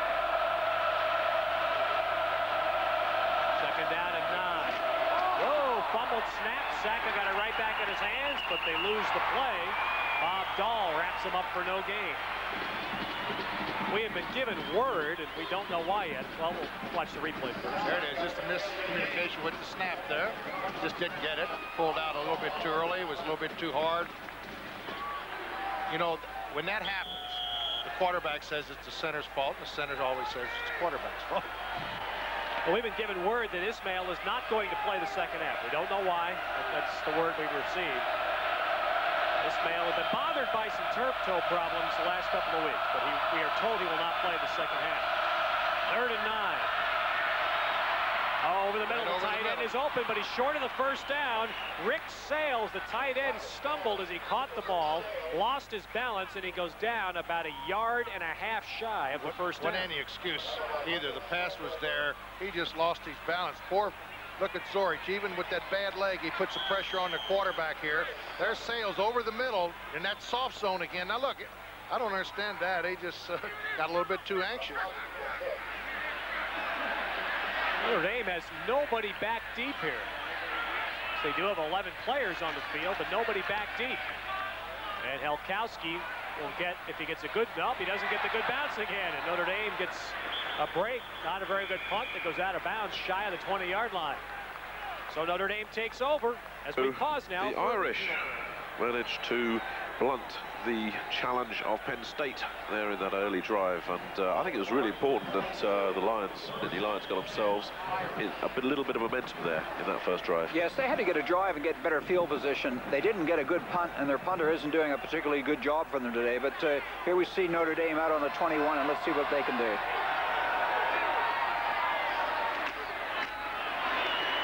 He's going to lose two yards. Nothing there for Watters. Lou Benfatti on the defensive line for Penn State made the play. And it's going to be a loss of two. Tony Brooks now checks in. So without Ismail, who we do not we do not even see him on the sidelines at this point. We see probably a lot more of Sean Davis as a wide receiver in the second half. Mirer rolling left again. Throwing it long for Davis. And again, overthrown. You don't throw too many deep patterns all year long. Uh, I think we can count on both hands how many really yeah. deep flat patterns or post patterns we've seen all year long. Mirer's got a very, very strong arm. He can throw it 65, 70 yards if he needs to. Most of those have been overthrown this year, exactly. as opposed to underthrown. Well, we've had two touchdown passes overthrown today.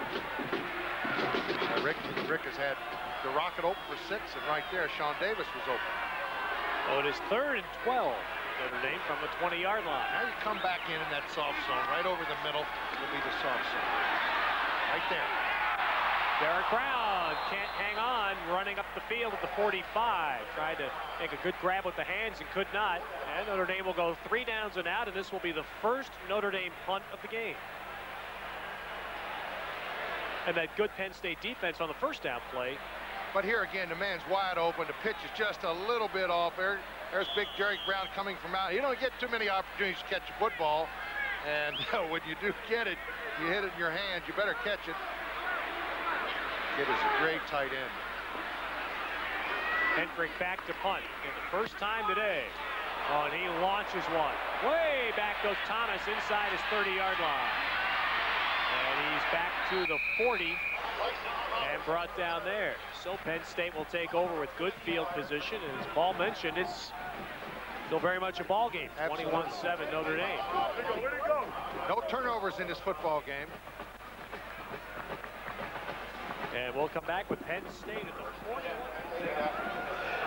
So Penn State defensively, they too hold firm. So with just three minutes gone here, in the second half. Both teams have had a chance at doing something, and both teams have finished finished up punting the ball, which is uh, a little bit frustrating, a little bit disappointing for those of us that love offensive football, but uh, certainly defense the order of the day here in the early stages of the second half.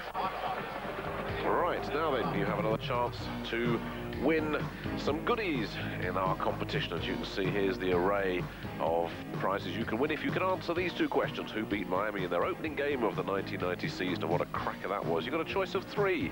Was it the team we're seeing today, Penn State? Was it Kansas? Was it the Jayhawks? Or was it the Brigham Young Cougars? And question two, which current Notre Dame player is nicknamed the Rocket? And even John Ralston reckons he can answer that one. Let's have a look at the three choices. Ricky Watters, Raghib Ismail, or Rodney Culver. And if you know the answers, put them both on a postcard together with your name and address and send them to Screen Sport, American Football Competition number 2, PO Box 40A, London W1V4TA. Make sure they get here by December the 21st. That's when you've got to get them in, and we'll be making the draw for the lucky winners during our coverage of the New Year's Day College Bowl games. And uh, a lot of talk that the Fighting Irish are going to be um, going up against Colorado for the national championship in the Orange Bowl. And what a game that would be. John, we've uh, we've talked about you've been watching games in Europe. What, what brings you to Europe? Well, the uh, World League of American Football is committed to globalizing our game, and we're going to have teams in Europe this next year. We're just pleased to have a team in London, uh, going to have a team in Frankfurt, going to have another one in Barcelona, have our own division here in Europe. That means a division winner will be in the playoffs. We'll talk more about that later, John, but right now Penn State take over in excellent field position. Stonebreaker showing blitz. He's picked up. Ball goes to Leroy Thompson. Good run out to the 50-yard line before Stonebreaker and Todd Lyght. Stonebreaker blitzing over the center has to come back nine yards down the field to make that tackle.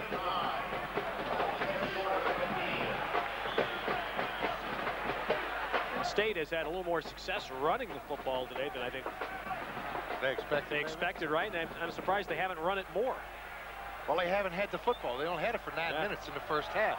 Notre Dame controlled it, you know, for 20 minutes.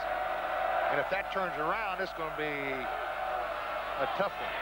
Fullback Sam Gash. There's a great tackle by Kowalkowski. George Williams as well, but Kowalkowski really made the play, and they lose a yard.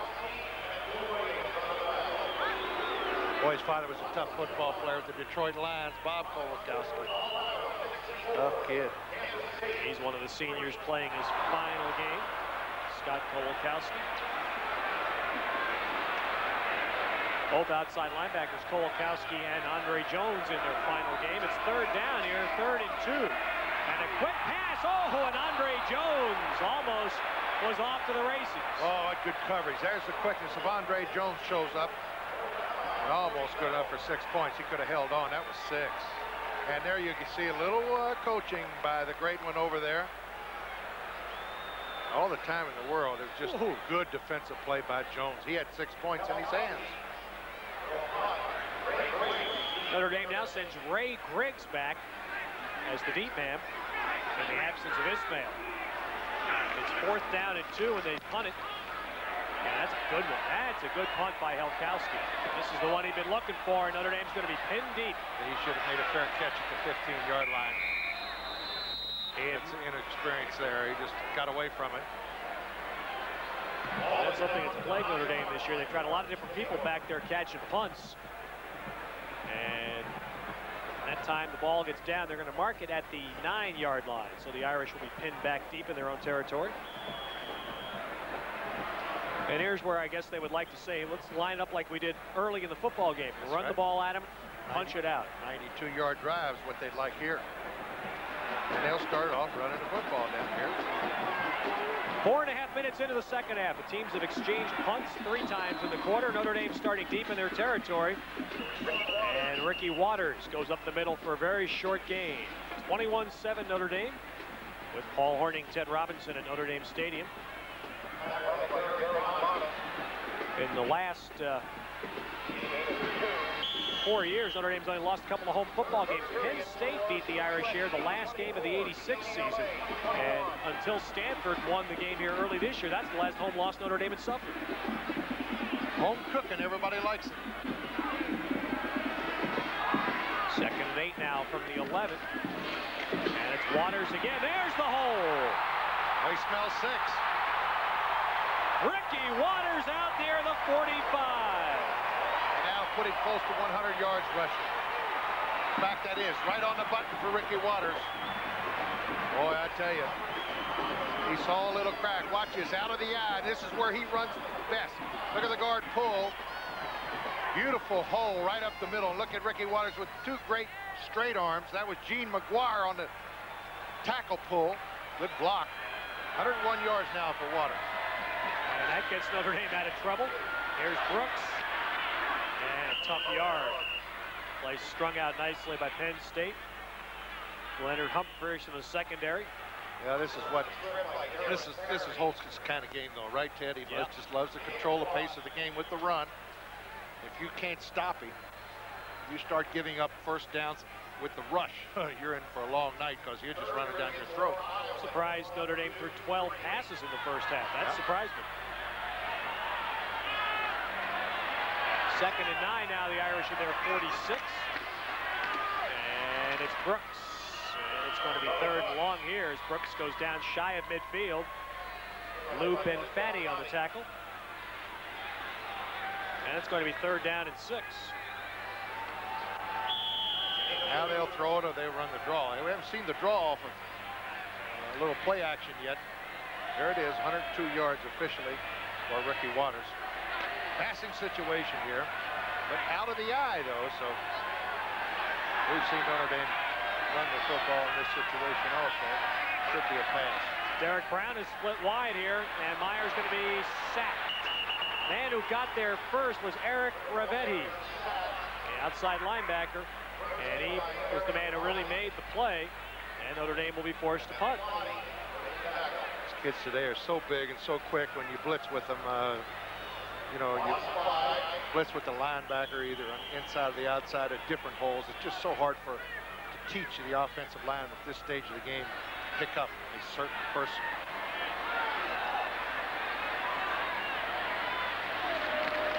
Good snap to Hentrich. He blasts this one out, and it's taken by Thomas at the 20. Up the middle. Good run. Nice return by Tyson Thomas, a sophomore, York, Pennsylvania, to the 35-yard line. 21-7 Notre Dame. As we pause now for a regional break. 21-7, the real big play there in that drive. The Ricky Watters run, and once again, you've got to question the tackling here, John. Yeah, this is that counter trey that the Washington Redskins make uh, so popular. It's the guard and tackle pulling back to the tight end side and uh, open up a nice hole. Now, what about the World League of American Football, which you're obviously associated with? What kind of quality of player are they looking for? Well, the regular 40-man squad will be made up of predominantly NFL cuts, so it's NFL caliber type of player playing there. Uh, Victor Ebu Budidiki uh, is one of the players that we're we think can play on the regular squad. Otherwise, we're going to have four additional players. We call it Operation Discovery. We want to get some national players, and then we expect to be able to teach them. And uh, these could be players with or without football experience. Uh, just fine athletes. That's what we're looking for. So there's going to be British players on the British team, in other words. Yes, there will be. Right, okay, we'll come back to that later. Penn State back on the move and uh, gain of ooh, maybe maybe a yard there if he was lucky there for Penn State. Number 44, the ball carrier, built a bit like John Riggins as well, but uh, Penn State getting off to another drive and uh, they're still in this game, aren't they, John? Just 21-7. No, it, the Penn State's still in it now. This is an important drive. They uh, they got a good punt return, and they've they've got to make a couple first downs, get it down into Notre Dame territory. Uh, they're dropping back to pass on second down. The quarterback, Sacca, does a good job, buys himself a bit more time. And the pickup, that's another first down. So uh, Penn State now on the march, midway through the third period. The score remains Notre Dame 21, Penn State 7. And just looked the field over, came back and saw Thompson. Watch this. I mean, this is a sack. I tell you, Devon McDonald on the outside. There's Stonebreaker. Now he's forced to go outside, and he looks back. He knows he's going to get hit, too. Hangs right in there. Zach is not playing like a young man has been pulled from a couple of games this year. Replaced by Tom Bill for wins as recently as two weeks ago in West Virginia. He's going to get another first down inside the 40. Demetrius Dubose and Stonebreaker. First down for Penn State. Now the offense is sitting out over on the field. They're watching their defense. Here's this four-man rush for Notre Dame. And I don't know, that almost looked as if it was a quarterback draw type of thing. He just went back and he planted his right foot. I don't think he was looking over the secondary as far of a, as a pass was concerned. I think that was automatic little quarterback draw. Good for 12 yards. Bob Dahl wraps him up. Thompson gets three.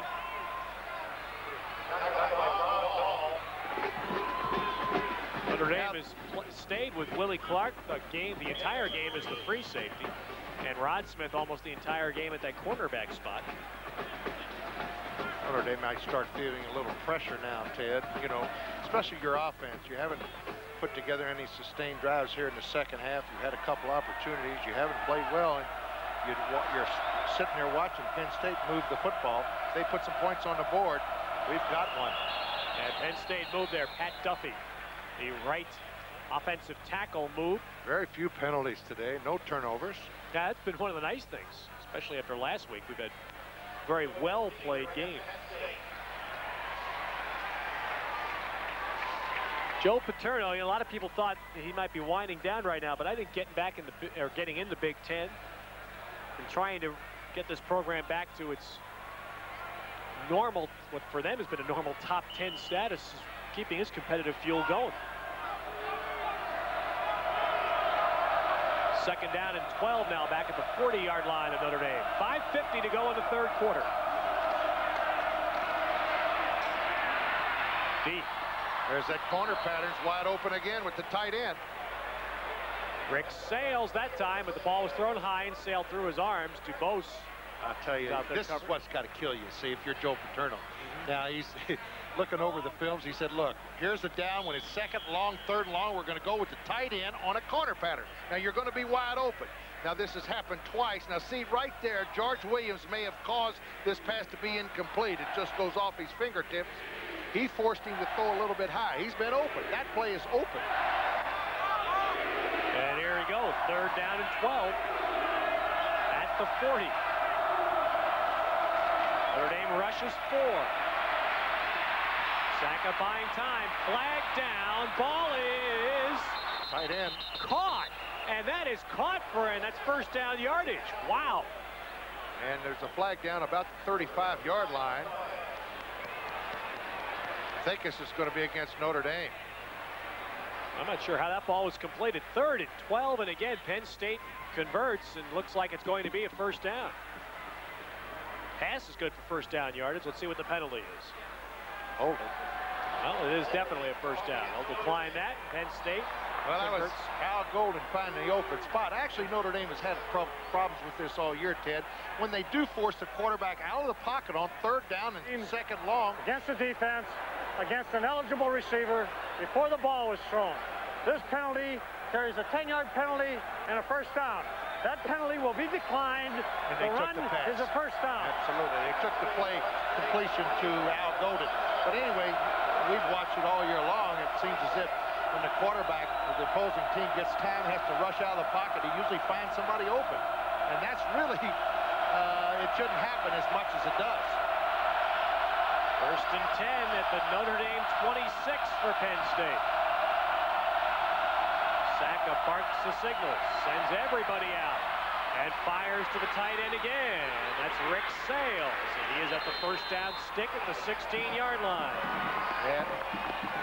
They picked it up in the film. They said the tight end is going to be open against this Notre Dame defense. Let's go to him. Here it is again. There he is on the inside. Now he's got to beat the linebacker. And he makes a good move here back to the inside. But you know, you hit it right on, Paul. They haven't thrown the ball to the wide receivers in this game. It's been to the backs and the tight end. Backs and the tight end. A little bit soft over that middle, and they come with the linebacker. Inches shy of a first down, so now you're in a situation where Joe Paterno was staring at the face of, hey, I could be out of this game in the first sure, quarter. Absolutely. Now we're coming down near the end of the third quarter, and his team is driving to get within a touchdown. Notre Dame has had a hard time putting the teams away they should have all year long. You know, they always let people off the mat. But they've gotten this far. Let's see if they can keep it up. It's almost a free player. You have second down and inches. Blitz with Stonebreaker. Run with Thompson. First down inside the 15. Zorich and Dubose on the tackle. You know, it always sees it even up a little bit, doesn't it? I mean, here, the first half, a team controls the football for 20 minutes. Second half, it goes on the other side. I mean, it just seems as if everybody will get their shot when the two teams are, are, are matched somewhat evenly. That's the 12-yard line. Third quarter, time remaining. They've taken about five minutes off this clock in this drive. Thompson again, wrapped up in the middle after a very short game. Uh, Dahl and Dubose in yeah, there. They give him three at this point. Well, that's what Penn State can't afford. They haven't had too many chances down deep. They need to take them in.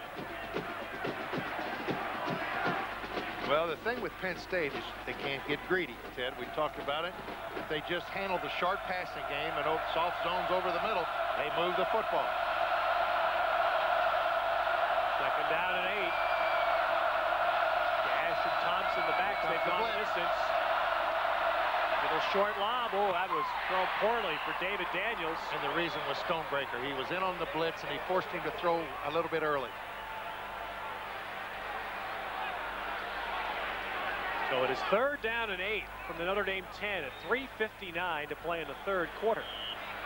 Notre Dame's problem has been when they rush three-man or they give the quarterback a lot of time or when the quarterback has, is forced out of the pocket, he usually finds somebody open after he's harassed. Let's see if they blitz again. Watch the linebackers. That's the key.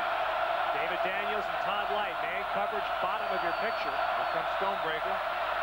Satchel Sacca wants to go, but Greg Davis on a safety blitz. And they blitz Stonebreaker on the inside. He took care of the back. That freed up somebody and couldn't get over to get Davis. Watch it. There it is. Here comes the back. And the fullback, Sam Gash, missed his man completely.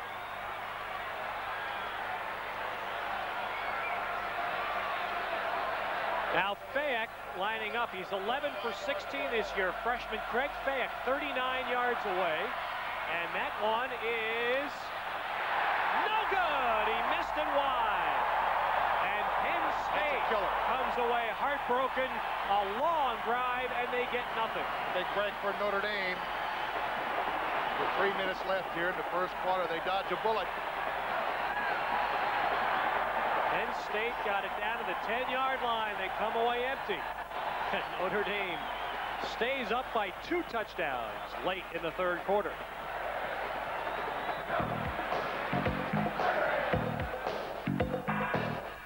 Get the feeling that Penn State needed something, even three points out of that. Yes, uh, that was a, a play that was destroyed by a bad read by the uh, wide receiver. Uh, on a blitz like that, he's on a fade pattern to the corner, and he just didn't run his route. That could have been a touchdown if he had played the ball. So Notre Dame get possession with Rodney Culver, and he doesn't get an awful lot. But it's the Irish that take over leading 21 to 7. Time running out here in the third quarter. I get the feeling if they score here, if they get a touchdown in here, they could have put the game away.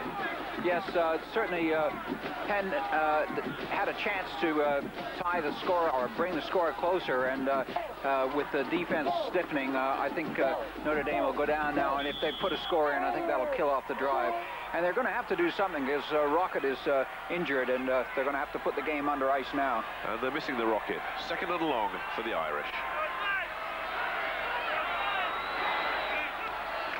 State blitzes, and Mirer will not even get away from center. Deanna Frio makes the play. I don't know psychologically what kind of impact losing Ismail has, but it hasn't been the same offense here. It really has. Quarter. They just look like they're a little bit flat. They need a play. They need somebody to come through with the play. Ricky Watters had great success in the first half, and he's really been the only one that's had success running the football.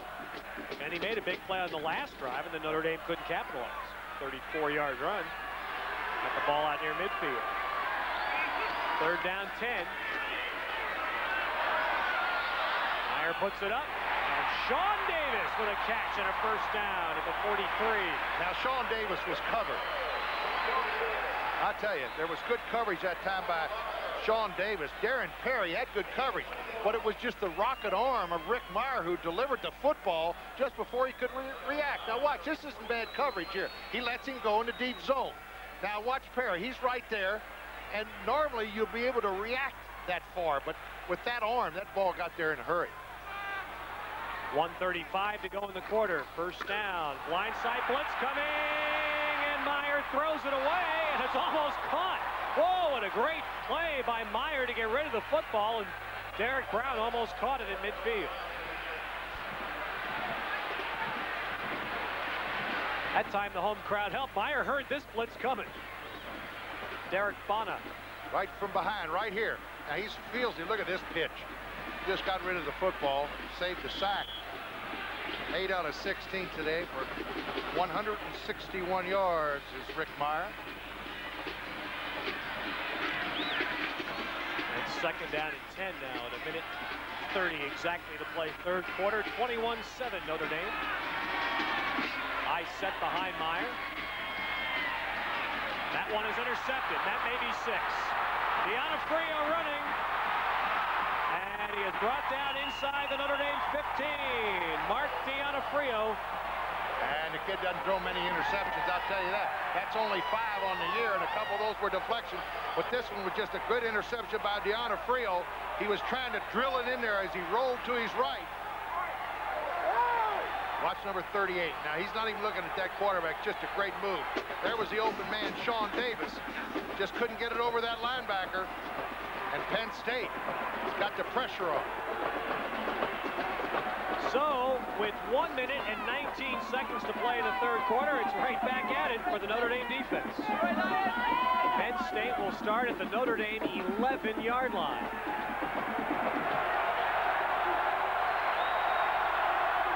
First turnover of this football game. Sacca up to center. Jerry Collins is the tailback. And he gets the pitch. And Collins is hit right there. And that was Eric Jones who made the first hit. A sophomore from Portage, Indiana that has played much more since Zorich's injury several weeks ago. A little tougher defense against the run down here. Will go upstairs. And I don't think Joe Paterno's going to try to run against this defense now. They stopped him for no gain. He'll throw it. Brian O'Neill is the fullback. Jerry Collins the tailback. Daniel split right against Lyght. Man coverage. Here's a blitz. blitz. Greg Davis again, but Sacca gets away once and then throws the ball away to avoid the sack.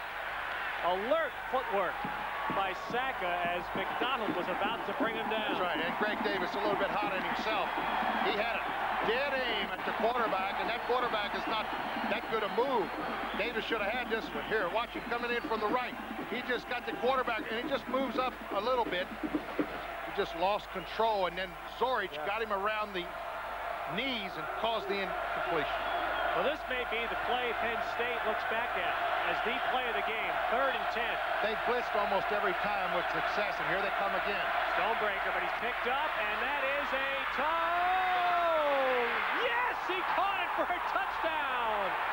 Rick Sales juggling, bobbling, and got it at the last second for a Penn State touchdown. Jeff Burris, number nine over there, had him man-to-man. So they got beat on the corner pattern. Mr. Sales, Rick Sales, the tight end again. Boy, this, has this been a game for the tight end for Penn yep. State or not? And Penn State coming away with heartbreak a few moments ago, but the interception by Deanna Frio on a big third down pass for the touchdown. Third down and 10 again, and Penn State converted for seven points this time. And with 32 seconds to play in the third quarter, it is now Notre Dame 21 and Penn State 14. And once again, the Notre Dame's defense against the pass. There it is, third and 10. That's Jeff Burris. He puts it, there. watch the bobble here. There it is. There, now there's the referee right there Right on. He was right on time. We'll take another look from about the 40-yard line where the camera is. There, bobble, bobble, bobble, bobble, left, left, left, left. Good call. He had it.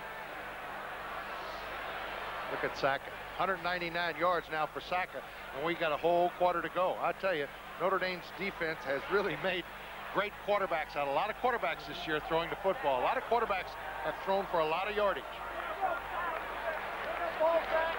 But this third quarter, you'd have to say the Notre Dame offense has had a letdown. Exactly. And that's really, the defense made a great stand last time. And well, that's they came first turnover. this time.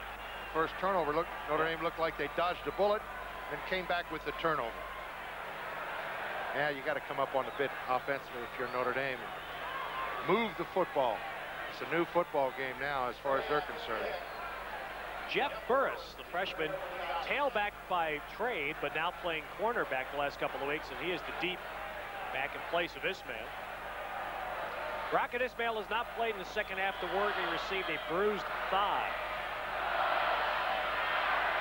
32 seconds to play third quarter. Here's the quick approach by Fayak, and he'll kick it deep this time. So give Jeff Burris a chance. Nope, it's going to be Rod Smith instead. And Rod Smith is out near the 30-yard line.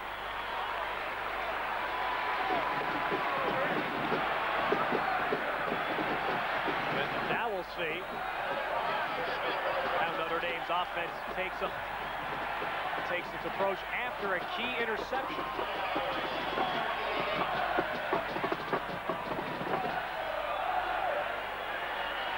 You know, the only thing I don't like about the Heisman Trophy voting is they've already sent out the ballots, and I think a lot of people have already voted. I mean, you could vote uh, a couple days ago, Ted, I really don't think you should vote till after the whole football season's over. Get hit by Culver, and he's out near the 35. That'll be the last play of the third quarter. I agree with you.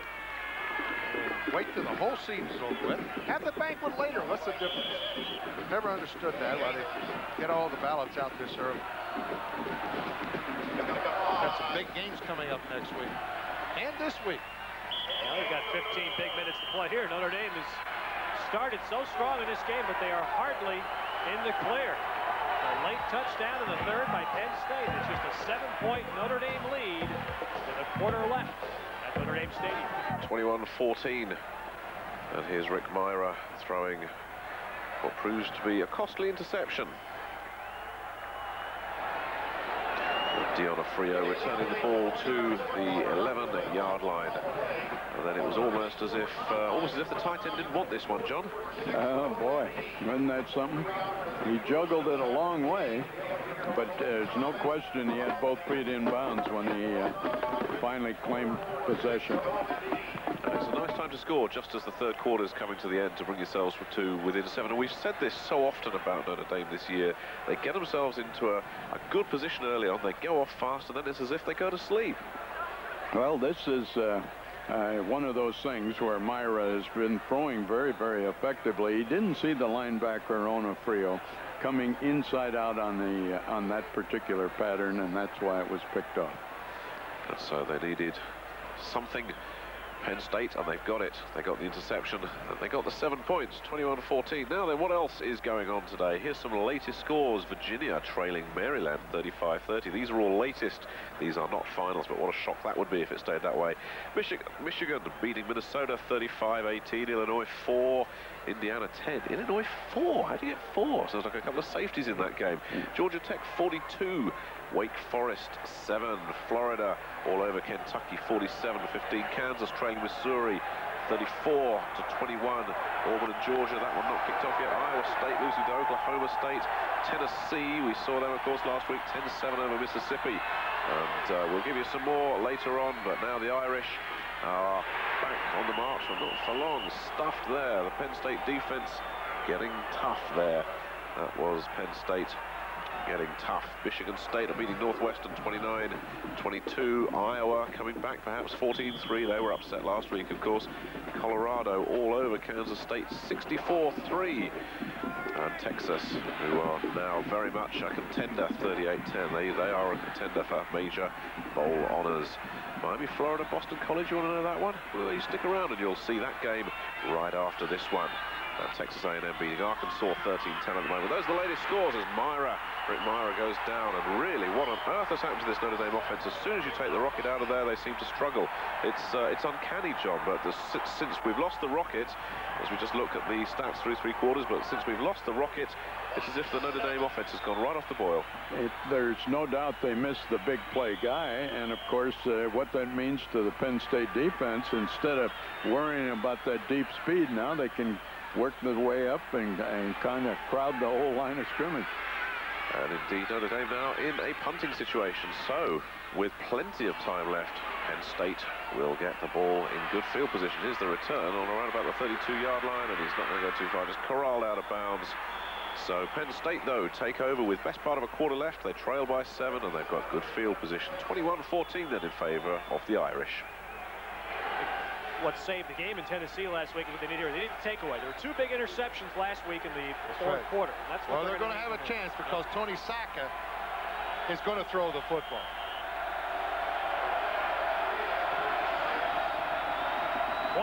21-14. Notre Dame has been shut out thus far in the second half. We have 13-39 remaining.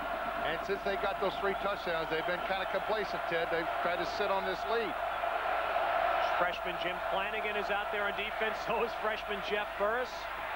And on a play fake, here's a bomb, and Daniels is out there, and Jeff Burris got back with him. Step for step, good defense. And the ball hung up there. He got behind Burris.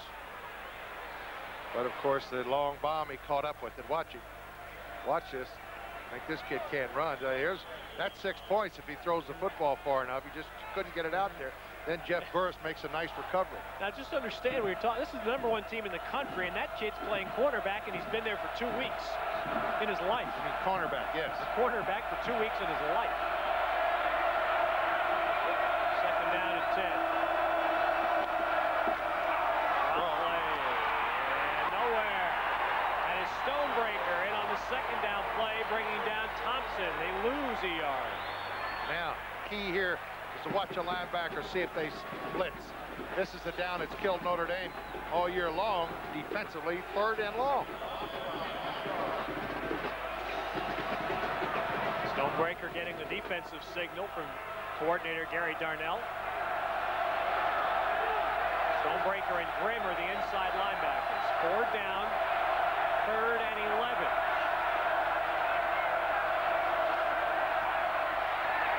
Pretty straight up, and Sacca throws underneath. Off That's in the middle. a- whoa, that's going to be close to the first down. Oh, he's got it. Thompson, if he had gone straight ahead, would have had it. He veered to his left, and he looks like he has it, but he made it closer than it needed to be. Oh, he's got the first down. They're going to bring out the sticks. Watch number 44, Thompson. You see the middle, the linebackers are way deep, and he's so wide open in the middle. He's so afraid of down the middle here. That's Don Grimm trying to come up. Willie Clark makes a stop.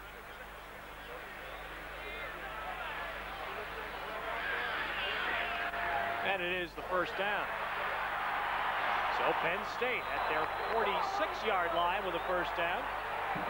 And the belief that they can win the football game now has got to be on that side. yeah. The belief that wasn't there early. Uh, belief was there about five, ten minutes ago, I'll tell you that. When they got that interception, that was it. See, you just play along, play along, play along with the team when you can put them away. You don't take advantage of it, then you give them a little lift. Thompson and Bob Dahl. There's a fine play as he broke off the block of Dave Brisencheck. I hate, hate to say it negatively, but I tell you, I don't know if this is good or bad. You know, you force them into that long passing situation is where the, they've been moving the football. If you're Notre Dame, you, you, get, you look at Notre Dame with the second long, you say, uh-oh, they're so soft underneath, they usually pick up the 10 or 12 yards. I tell you, they've been open. The hot receiver's been open all day long, and that's Tony Thompson. Here comes the outside blitz. Stonebreaker. And the ball is incomplete. He crushed Tony Sacca to the ground. And see, without the blitz, without the force of the quarterback to throw the football early, he's got a man-to-man situation over there. Might have been complete, but he wasn't going to be complete because he had to he had to really get rid of the football. Watch Stonebreaker here, right here. Nobody picks him up. Now he feels that. He knows he's got to get rid of the football. wasn't even close to being completed because of that blitz. That sounds extremely repetitive, but here it is again. Yeah. Third and 13. Watch Tony Thompson over the middle there with a little delay. Or the tight end. Four-man rush. And a little screen set up. Open, and good. wow, that was not a well-designed play. I didn't like the call either. They ran a screen and Stonebreaker had his nose for the football right there. That was a very strange call, third and 13. So the screen pass to Gash, the ball is incomplete. Here's the punt coming now from Helkowski. That was about the last play I was looking for. Well, I tell you, it wasn't that bad a call in, in, in this kind of a thinking, Ted. Notre Dame has been blitzing on third down, and if and they didn't blitz that time. Stonebreaker laid off. So, you know, if they catch him in a blitz with the screen, oh, Oh, he just got the punt away off the side of the foot. missile bound. And it gets goal a good Penn State bounce. Inside the 15. Sean Davis came very close to a punt block. Notre Dame by a touchdown as we pause now for a regional break. Channel America's coverage of Notre Dame football continues. Uh, a few fingernails being chewed, I think, in this fourth quarter. Penn State fighting back, and although they had to punt there, they're still very much in it, just a touchdown behind. Just a reminder before we go back to the game about the address of where to send your competitions to. It's the Screen Sport American Football Competition number two, PO Box 4TA, London W1V4TA. Get them in by December 21st. That's when the draw is going to be made.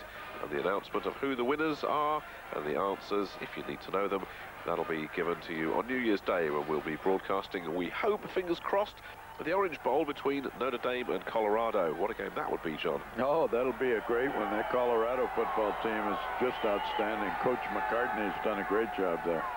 It's been such a topsy-turvy season. No one team has really dominated, has there? Who, who, do you think is the best team in college football right now? At one time, I thought the University of Washington was going to be, and then UCLA went to Seattle and beat them up there. I, I just couldn't believe that, but uh, uh, it's very difficult to stay undefeated all the way through. You're just bound to have a, a, a bad week. I think Steve Spurrier's done an outstanding job with the Florida football team. Uh, gee, they, they're playing very, very well. Hard to say who would be the uh, top team. I think Colorado might end up the uh, the best team. You think they could beat Notre Dame in the Orange Bowl? I think they can. Well, we shall uh, we shall hopefully see. That will be a, certainly a tremendous meeting. The two number one, number one and number two team in the country, uh, just as they were last year, of course. And uh, Notre Dame upset. Well, Notre Dame, I don't think were number two, were they? I think they were number three, and that, of course, let the Hurricanes through when they beat yes. Uh, Colorado. So there's uh, plenty of points to prove and old scores to be settled if those two teams meet up again. Oh, also. But uh, I don't think the Fighting Irish guys are thinking too much about the Orange Bowl right now. They've got a battle on their hands here. Time running out, but still plenty of time for anything to happen. And Ricky Watters carries and doesn't get a lot. This Penn State defense, the second half, been very, very tough. It's been a real transformation in the second half, hasn't it, John? And I think uh, it because the Rockets out of there, they just don't have the deep threat. That brings the whole defense on up. And of course, when you're in a two touchdown advantage, now one touchdown, you're saying, hey, we can't throw that ball because we threw an interception the last time. And it just takes away from the, uh, uh, the ability to keep your uh, offense wide open. There's the handoff again, and it's Ricky Watters again, and Watters gets around seven or eight yards there. It'll be just shy of a first down. Another fine game for Ricky Watters today. He does enjoy playing Penn State. Over 100 last year, last year, over 100 yards today as well. That'll bring up a third down and short. Big play coming up for both teams. King, Rodney Culver here. They go outside, they would, I, I, I think, be better off. But of course, we've seen it all year long. Usually Rodney Culver gets the football in, in this situation. They got out of the I. Now a timeout is called by Penn State as the Casio clock stops at 10:22 to play, and the Nittany Lions take a defensive timeout here on a third and one play. Notre Dame holding a 21 to 14 lead. 10:22 to play in the game. Come back, third and one. It's a big play coming up defensively for Penn State. Big play coming up offensively for Notre Dame. Just 10-22 left in the ball game.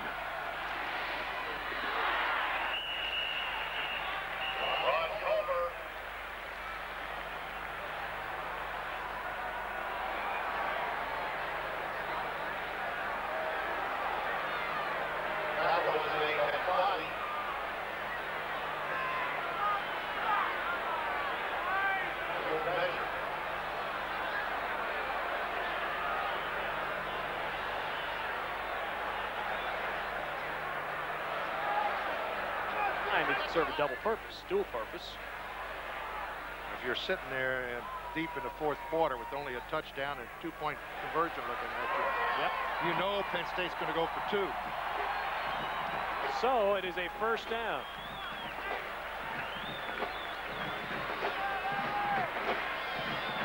Well, this is where Ismail might have gotten hurt. This is the last time he touched the football on a bruised thigh here. right there. Kind of looked like he jerked his leg in the air. Myers saw the blitz coming with Frio, kept the ball himself and goes maybe for a yard. That's what teams have done now when when they get in the trips and, yeah. they, and they have the last remaining back go in motion, most of your teams would just throw those two linebackers. And uh, there you see it. It's almost an automatic. Mirer has to get out of his way. If he goes back, Yeah, nobody, nobody's there to block him. Right. see? Well, Mirer picks up a yard, second and nine with 9.40 to play. Gonna run it one more time. They run a reverse here, and it's Sean Davis. Got some room. Oh, he should have cut out, run that Yeah. down. Oh, that bad, bad decision. yeah, I agree. He had the outside and winds up losing a couple of yards. He could have beaten him. That's Lou Benefatti. Benfatti, and he's got a lot more speed than Benfatti. So there's your time remaining. and Notre Dame is faced with third and long here, third down and 11. See, that's where they missed the rocket. The rocket right there, that was first down. He, he'd have gotten that speed to the outside. But you know, in all down. fairness, you know this, there are enough weapons on this football Oh, yeah. team that, There they, is. that, that they shouldn't just have the offense go into hibernation. Exactly, but with the rocket out of there, it takes a lot less pressure off.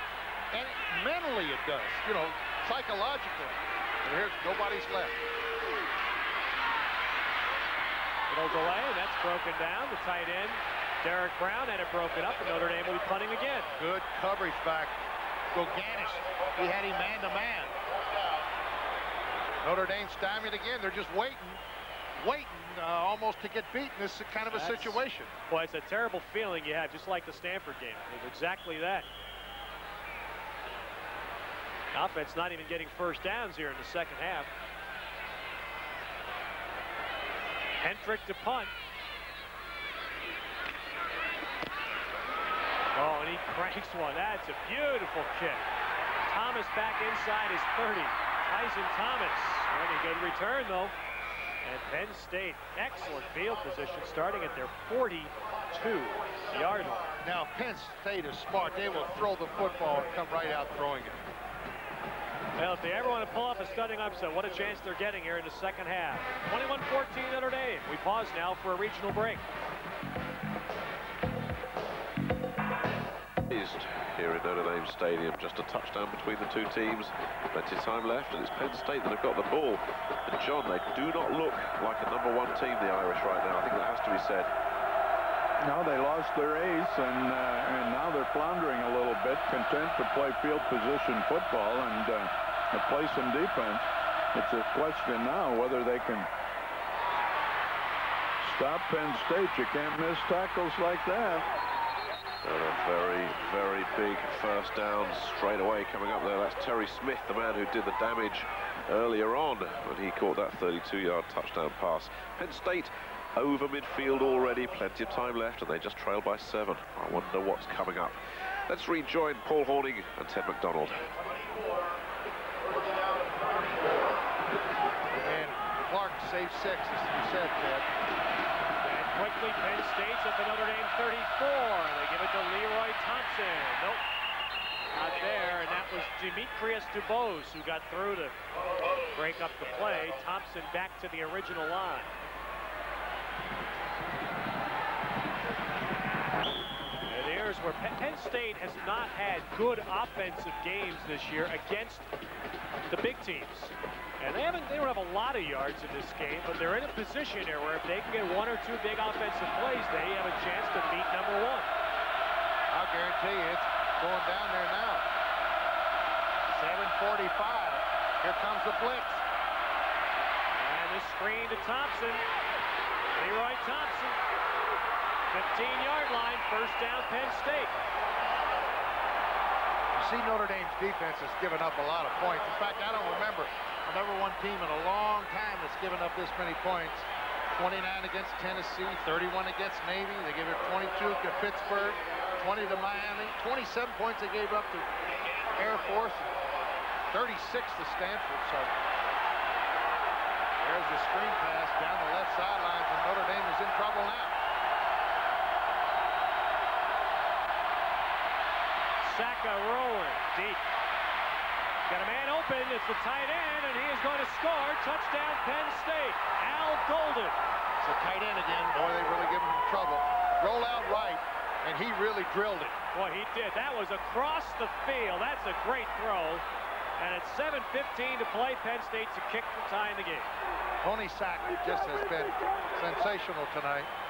It's a career high for Tony Sacca. 267 yards in the air. Three TDs. Freshman Craig Fayak now for the extra point try.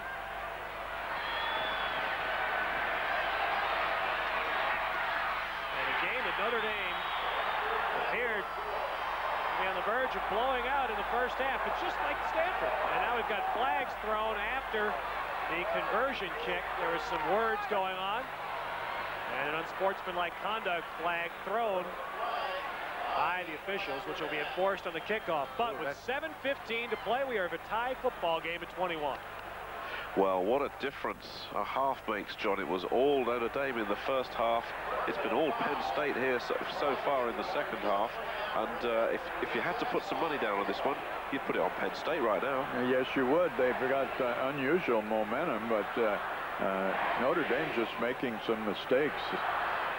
That, that was a well-executed play. They had that one set up. I'm not sure whether the tight end went behind the line. Here he is, number 89. No, he's just going against the grain.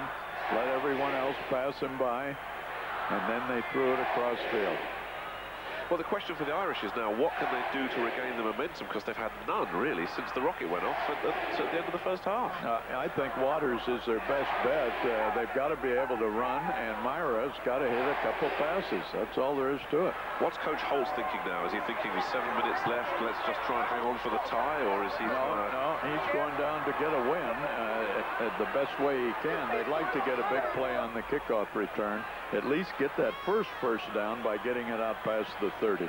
What do you think we're, uh, we, we could expect in the next couple of uh, plays? Well, uh, I, I would believe he'll go back to Watters and uh, depend on him to pull the game out of the fire. I don't think uh, the passer can do it by himself. Let me put you on the spot. Who do you think is going to come out on top in this one? Because well, it's so so well balanced, isn't it now? Yes, Penn State has a lot of momentum, and uh, uh, Notre Dame just has to shake out of a little bit of a lethargy. I think they got too conservative in the third quarter. Well, conservative or not, they certainly got themselves into a little bit of trouble. They led 14-0. They led 21-7 at the half. We're now all square here with 7 minutes and 15 seconds left. Penn State kicking off. This one's all to play for with just over 7 minutes left. Just simply to start from the 20-yard line. Notre Dame with just 61 yards of offense in the half. They've had very few first downs. They've had virtually no spark except for one play. See, that kickoff from the 35-yard line would have been returned. That ball would have gotten to about the nine-yard yeah. line, and it would have been returned probably past the 20. So it cost them field position, that penalty. There's the passing yards. That's I guess, not surprising given what we've seen this year. It's just a matter of Notre Dame with no offensive production in the second half. They have ran the they have run the football every time on first down here in the second half. at least they go outside. See what I mean? Ooh, that was close to breaking it. Yep. Watters got six.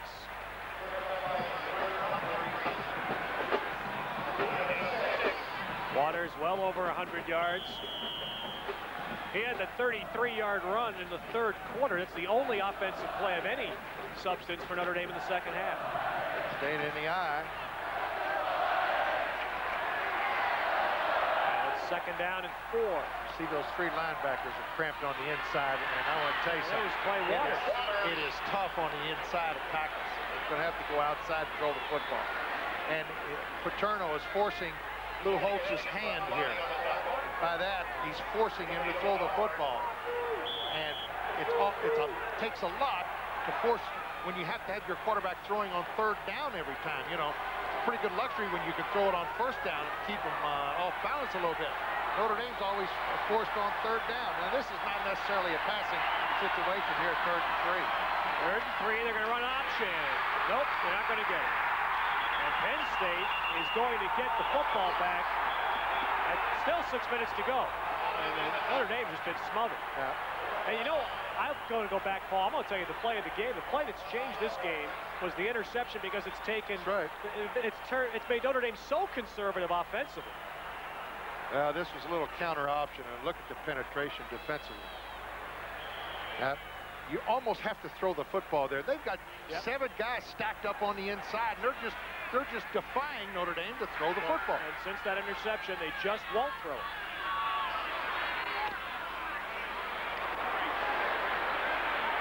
Fair catch. And again, good field position at the 41-yard line. And Sacca and Joe Joe Paterno knows that the game is in his hands to win now. And Notre Dame's national championship hopes balance very precariously on these final 5 minutes and 23 seconds. Half for Notre Dame reads like this. Punt, punt, interception, punt, punt. And then once again, with just 5 minutes and 23 seconds left, punt. And really, everything starting to look as if we could be heading for a major upset. Penn. State could be about to break into the top 10. Yes, they could. Very, very easily. If they can take a concentrated drive here, and they've got plenty of time. Now, you, you know Lou Holtz. Yes. What's he doing and what's he thinking in this situation right now? Well, he's got to get the ball back as quickly as he can. He's still thinking winning the uh, ball game, but uh, right now the momentum has gone away. He needs what we call a momentum changer, and he's got to find it uh, very, very quickly. He's got to reach down for some sort of a trick play or get a big play from someone. Well, they've come up with interceptions when they've needed them so often in the past. We've seen them in this situation.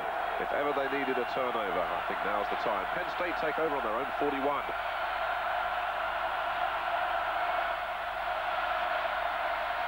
Leroy Thompson. And he's wrapped up. Good tackle there by Bob Dahl. Played a fine game up front. Out near the 45. Yeah, the game's uh, offensively. It's in Joe Paterno's hands now. He wants to eat up time off that clock.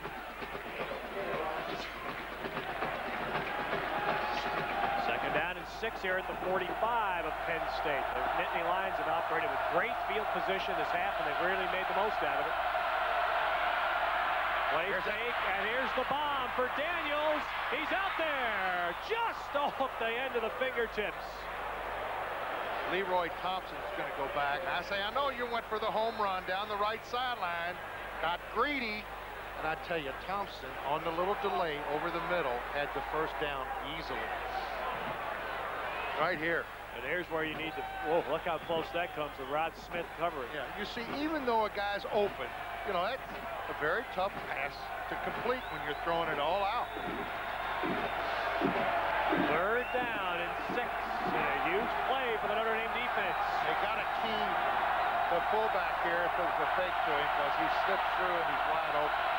That's dash in motion. Play. Fake. Pressure again. from Boo Williams. There he is. And Thompson with a catch and a great spin for the first down to the Notre Dame 45. It's open all night. Leroy Thompson. Now, I didn't call that play, Ted. I mean, you know, I mean, I know. I didn't send that in, but I tell you, there he was. Good I don't know why they just don't have a man keying him at all times, you know, over the middle. You know, you got to do is put a man just, and wait for him. Of course, it's a little easier set up here, isn't it? And the first down is so big because that lessens the chances of Notre Dame getting the ball back with any appreciable amount of time here. Thompson running, and he got about four. And watch him again. He's gonna, they're going to go into the pass now. And uh, you get down where if they get about 10 more yards, they'll have a field goal try here. You're getting to the point of four minutes. And And if you don't believe what I'm talking about, Thompson's caught seven of those little delays over the middle tonight. And in the previous season, the nine games, the entire season coming in, he'd only caught 13 passes. Watch it. And when they get in the I again, if it's play action, watch how open he is when he goes over the middle. Second down and six. Quick hit to Sam Gash. Well, he drives forward and got some yards. And it'll be third and short yardage for Penn State. Well, I don't like Penn State's theory here either. Trying to run the ball inside here. They've been very, very successful throwing the football. Now you put them down to one play. But I'm sure what they're doing, I think they're playing for three here. Oh, it can't. They can't be playing. It's a 54-yard field goal right Oh, no, no, no. I think they're playing to try and burn a little time off here, but I don't think Yeah. Joe Paterno's thinking end zone. Yeah, but you can't waste a play like that. You know, to put it in this position, third and three, when you've been so successful throwing the football, Ted. Three minutes to play, and it's Thompson, and he did See not what I get it. He didn't get it. And he's going to be close enough that they'll go for it. He's only going to be, well, he'd be about two yards, yard and a half to two yards shy. And on fourth down, If, if they don't make it, it's a poor selection of play. I don't care if they do make it on fourth down. wow. Look at this. Joe Paterno sending the punt team out with 2.40 to play. And that I cannot believe. You're kidding. I do not Well, believe a that. Watch the fake, not the fake. Watch it. They're going to try to pull them off sides. Yeah, Surely be. they wouldn't punt. Fourth down, a yard and a half, 225. Clock is running, and they do snap it. That is incredible. Notre Dame with nobody back. And they'll down this inside the 10 at 2.15 to play. Now, the only thing Joe Paterno, of course, with the punt going down there, he's got to hope. He's got two timeouts left that he uses them on defense and gets the ball back in midfield. And now, if you're Notre Dame, you can't think conservative because your national championship hopes are riding here, and that's no matter what Lou Holtz says. That's Playing the they're number one for. team in the country, Penn State playing the number one team in the I- country, and they. Are I agree. I agree with you. At Notre Dame Stadium, what a remarkable half and a very, very unusual decision by Joe Paterno. And he'll hear a lot about that if this game ends up in a tie. But Notre Dame needs to go here. 2.15, tie game from their seven-yard line. And Mirer standing up, throwing it out, incomplete, up the alley on the sidelines.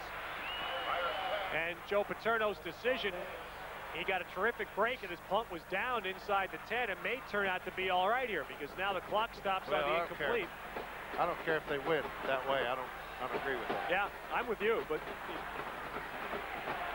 Notre Dame, he knows Notre Dame has to go. Notre Dame's not going to be running the ball here because they can't win the national championship tying the football game. Where was the uh, line of scrimmage? I lost track of it. It would've 37 yard line. 37 yard line. You're punting. Come on. Second down and 10, and the Irish do run it. Up goes Brooks. And Tony Brooks, a forgotten man in the second half, Got the has it out, down. and that should be a first down. Now Notre Dame's got to start taking a timeout or two themselves. They've got three left, and they've got to go all out to get three. Now, They're going to bring the chains out. You know what I remember? We look at the timeouts remaining here, Paul. I think back to that Stanford game. After Stanford scored the eventual game-winning touchdown, though, Notre Dame went back down the field so easily and had the game on the fingertips of Derek Brown on the game's last play. So you know the Irish can Yeah. move it down there by throwing. well, this was a big play right here, and it was a good block by Rodney Culver on just a seal on the outside. And Brooks did some good hard running. Now they got to go ahead and go on upstairs and throw it. And they've got to, while this clock is running, they've got to get into this huddle, hurry up offense. This is this is when you say, uh, Ted, that they need practice on the two-minute warning. Comes down with the national championship on the line. Pressure and a dump out is incomplete. Intended for Culver. But the pressure there broke that play up, and it was Richard McKenzie who has been the big rusher on Mirer all day that got in. They're not going to beat him with the screen at your own 20-yard line. They got to go downfield with the pass. 146 remaining. Notre Dame has all three timeouts. They've got a long way to go. They still have to go at least 53 yards to They've got to get the big tight end down the field now out of the I.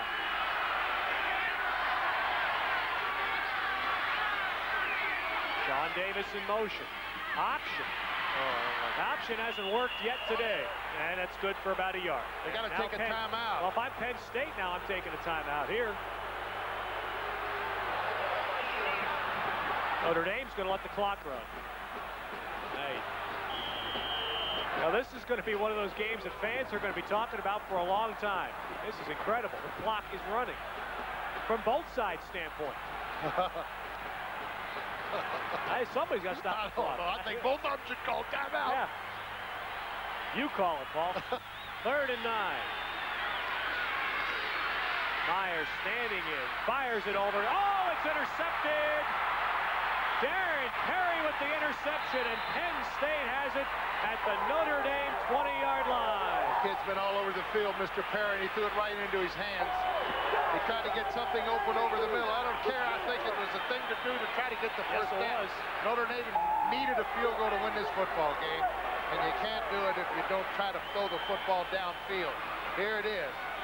Just good coverage that time. Everybody's covered. There, well, a man could, was open up just a high pass.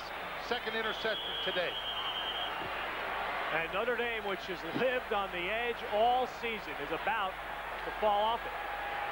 If Craig Fayak, a freshman place kicker, gets a chance, still 59 seconds left. Penn State's at the 20-yard line. Oh, this is going to run it. Thompson. Gonna run it.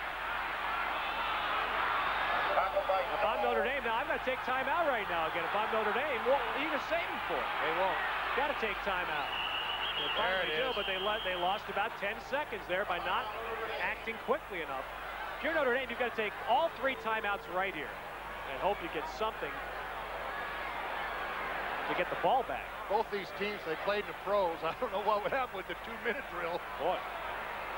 What a football game. What a don't- for I Penn don't guess State. in college, you tell me that Notre Dame, they don't work on the two-minute drill that much, right? No, they don't. Lou Holtz says they really they don't operate in the two-minute mentality. They don't run a specific two-minute drill in practice sessions. Why not? I wonder. Well, when you when you've gone 32 and 2 over the last couple of years, you probably No, figure you don't no, need it a whole to lot. Normally, but there always comes a time when you need it. It's good to have it, I would think. Let's say you know you've seen obviously you've seen so much football over there. I can't ever remember a season like this with a team like this. I, and I, They're and so- I think I just early on we talked about you know look how many points that Notre Dame defense has given up. Now in the second half, the defense has not been the fault. The No fault has way. been with the offense tonight. They haven't been able. Well, it looks very, very bleak now for the Fighting Irish. Do you think, uh, do you think, as, as Paul says, they're about to fall off the edge? No, they're about to. Uh, at least they'll get the field goal uh, attempt by Penn State. Uh, there's no question that they'll find a way to run that clock down to about four seconds, and the final play will be the uh, field goal.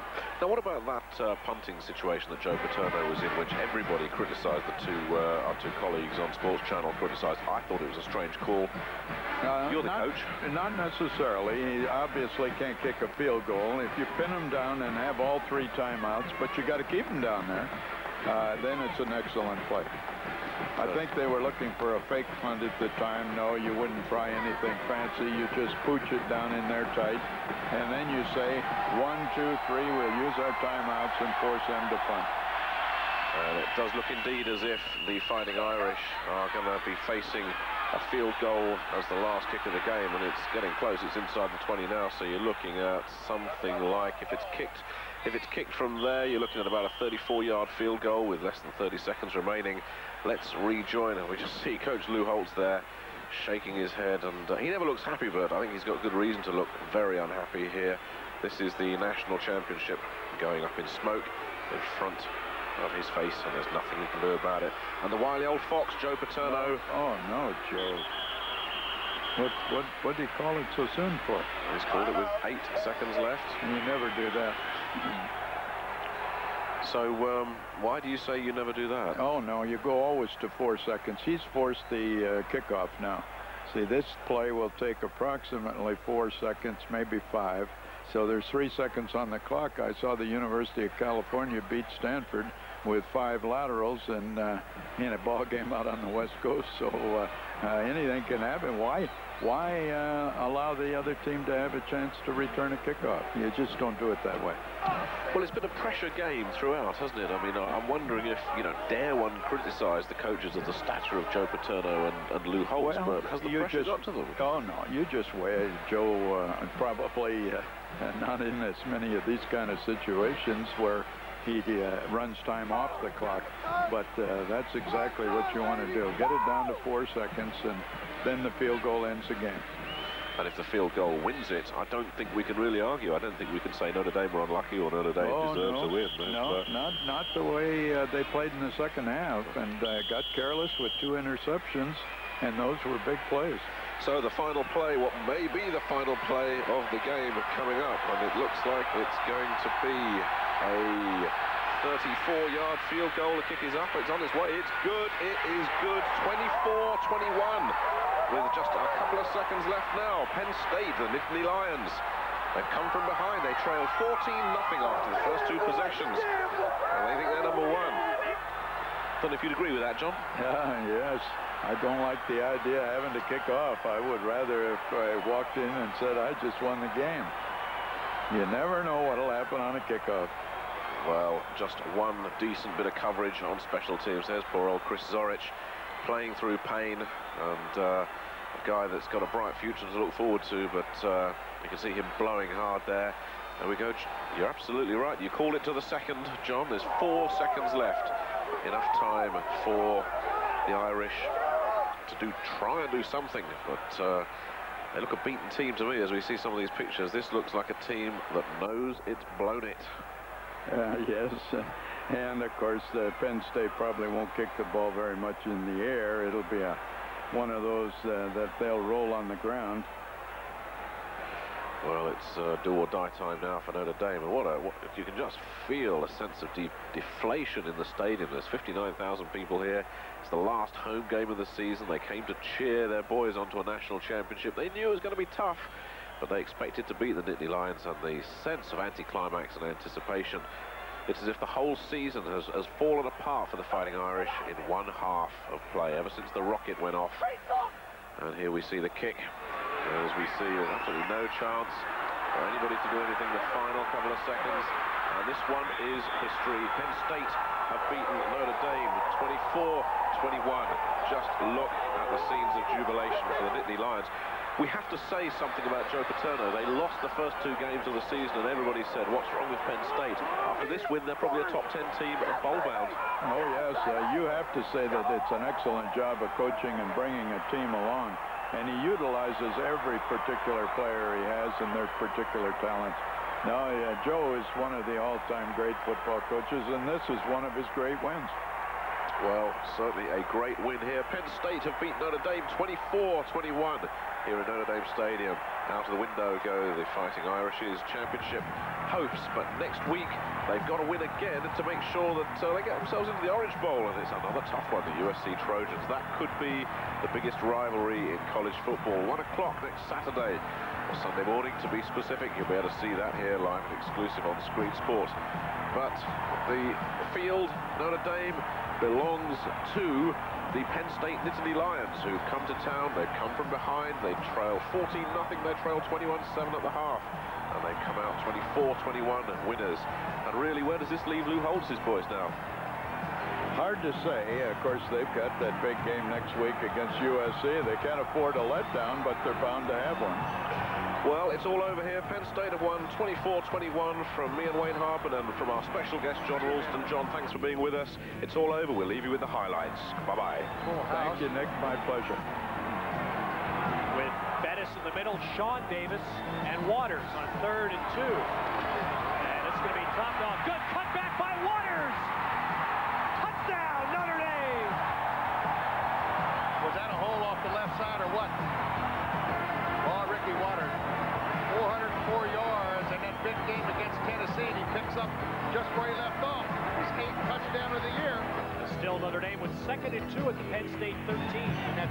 second two. You pick up eight on first down, you're going to beat somebody. You usually beat them bad, too. But Look at the hole, Brooks. Touchdown, Notre Dame. Ooh, they look strong today. Oh, it's going to be third and eight. Penn State now at the Irish 32. Now here's the down that's destroyed Notre Dame all year. They get teams in third and eight and Yep. can't put them away. But they're in a blitz here. Baker reverse, and Sacca's got Smith open downfield. He's got him, and he is in for a touchdown on a great by Terry Smith. It was just a great individual play by Sacca.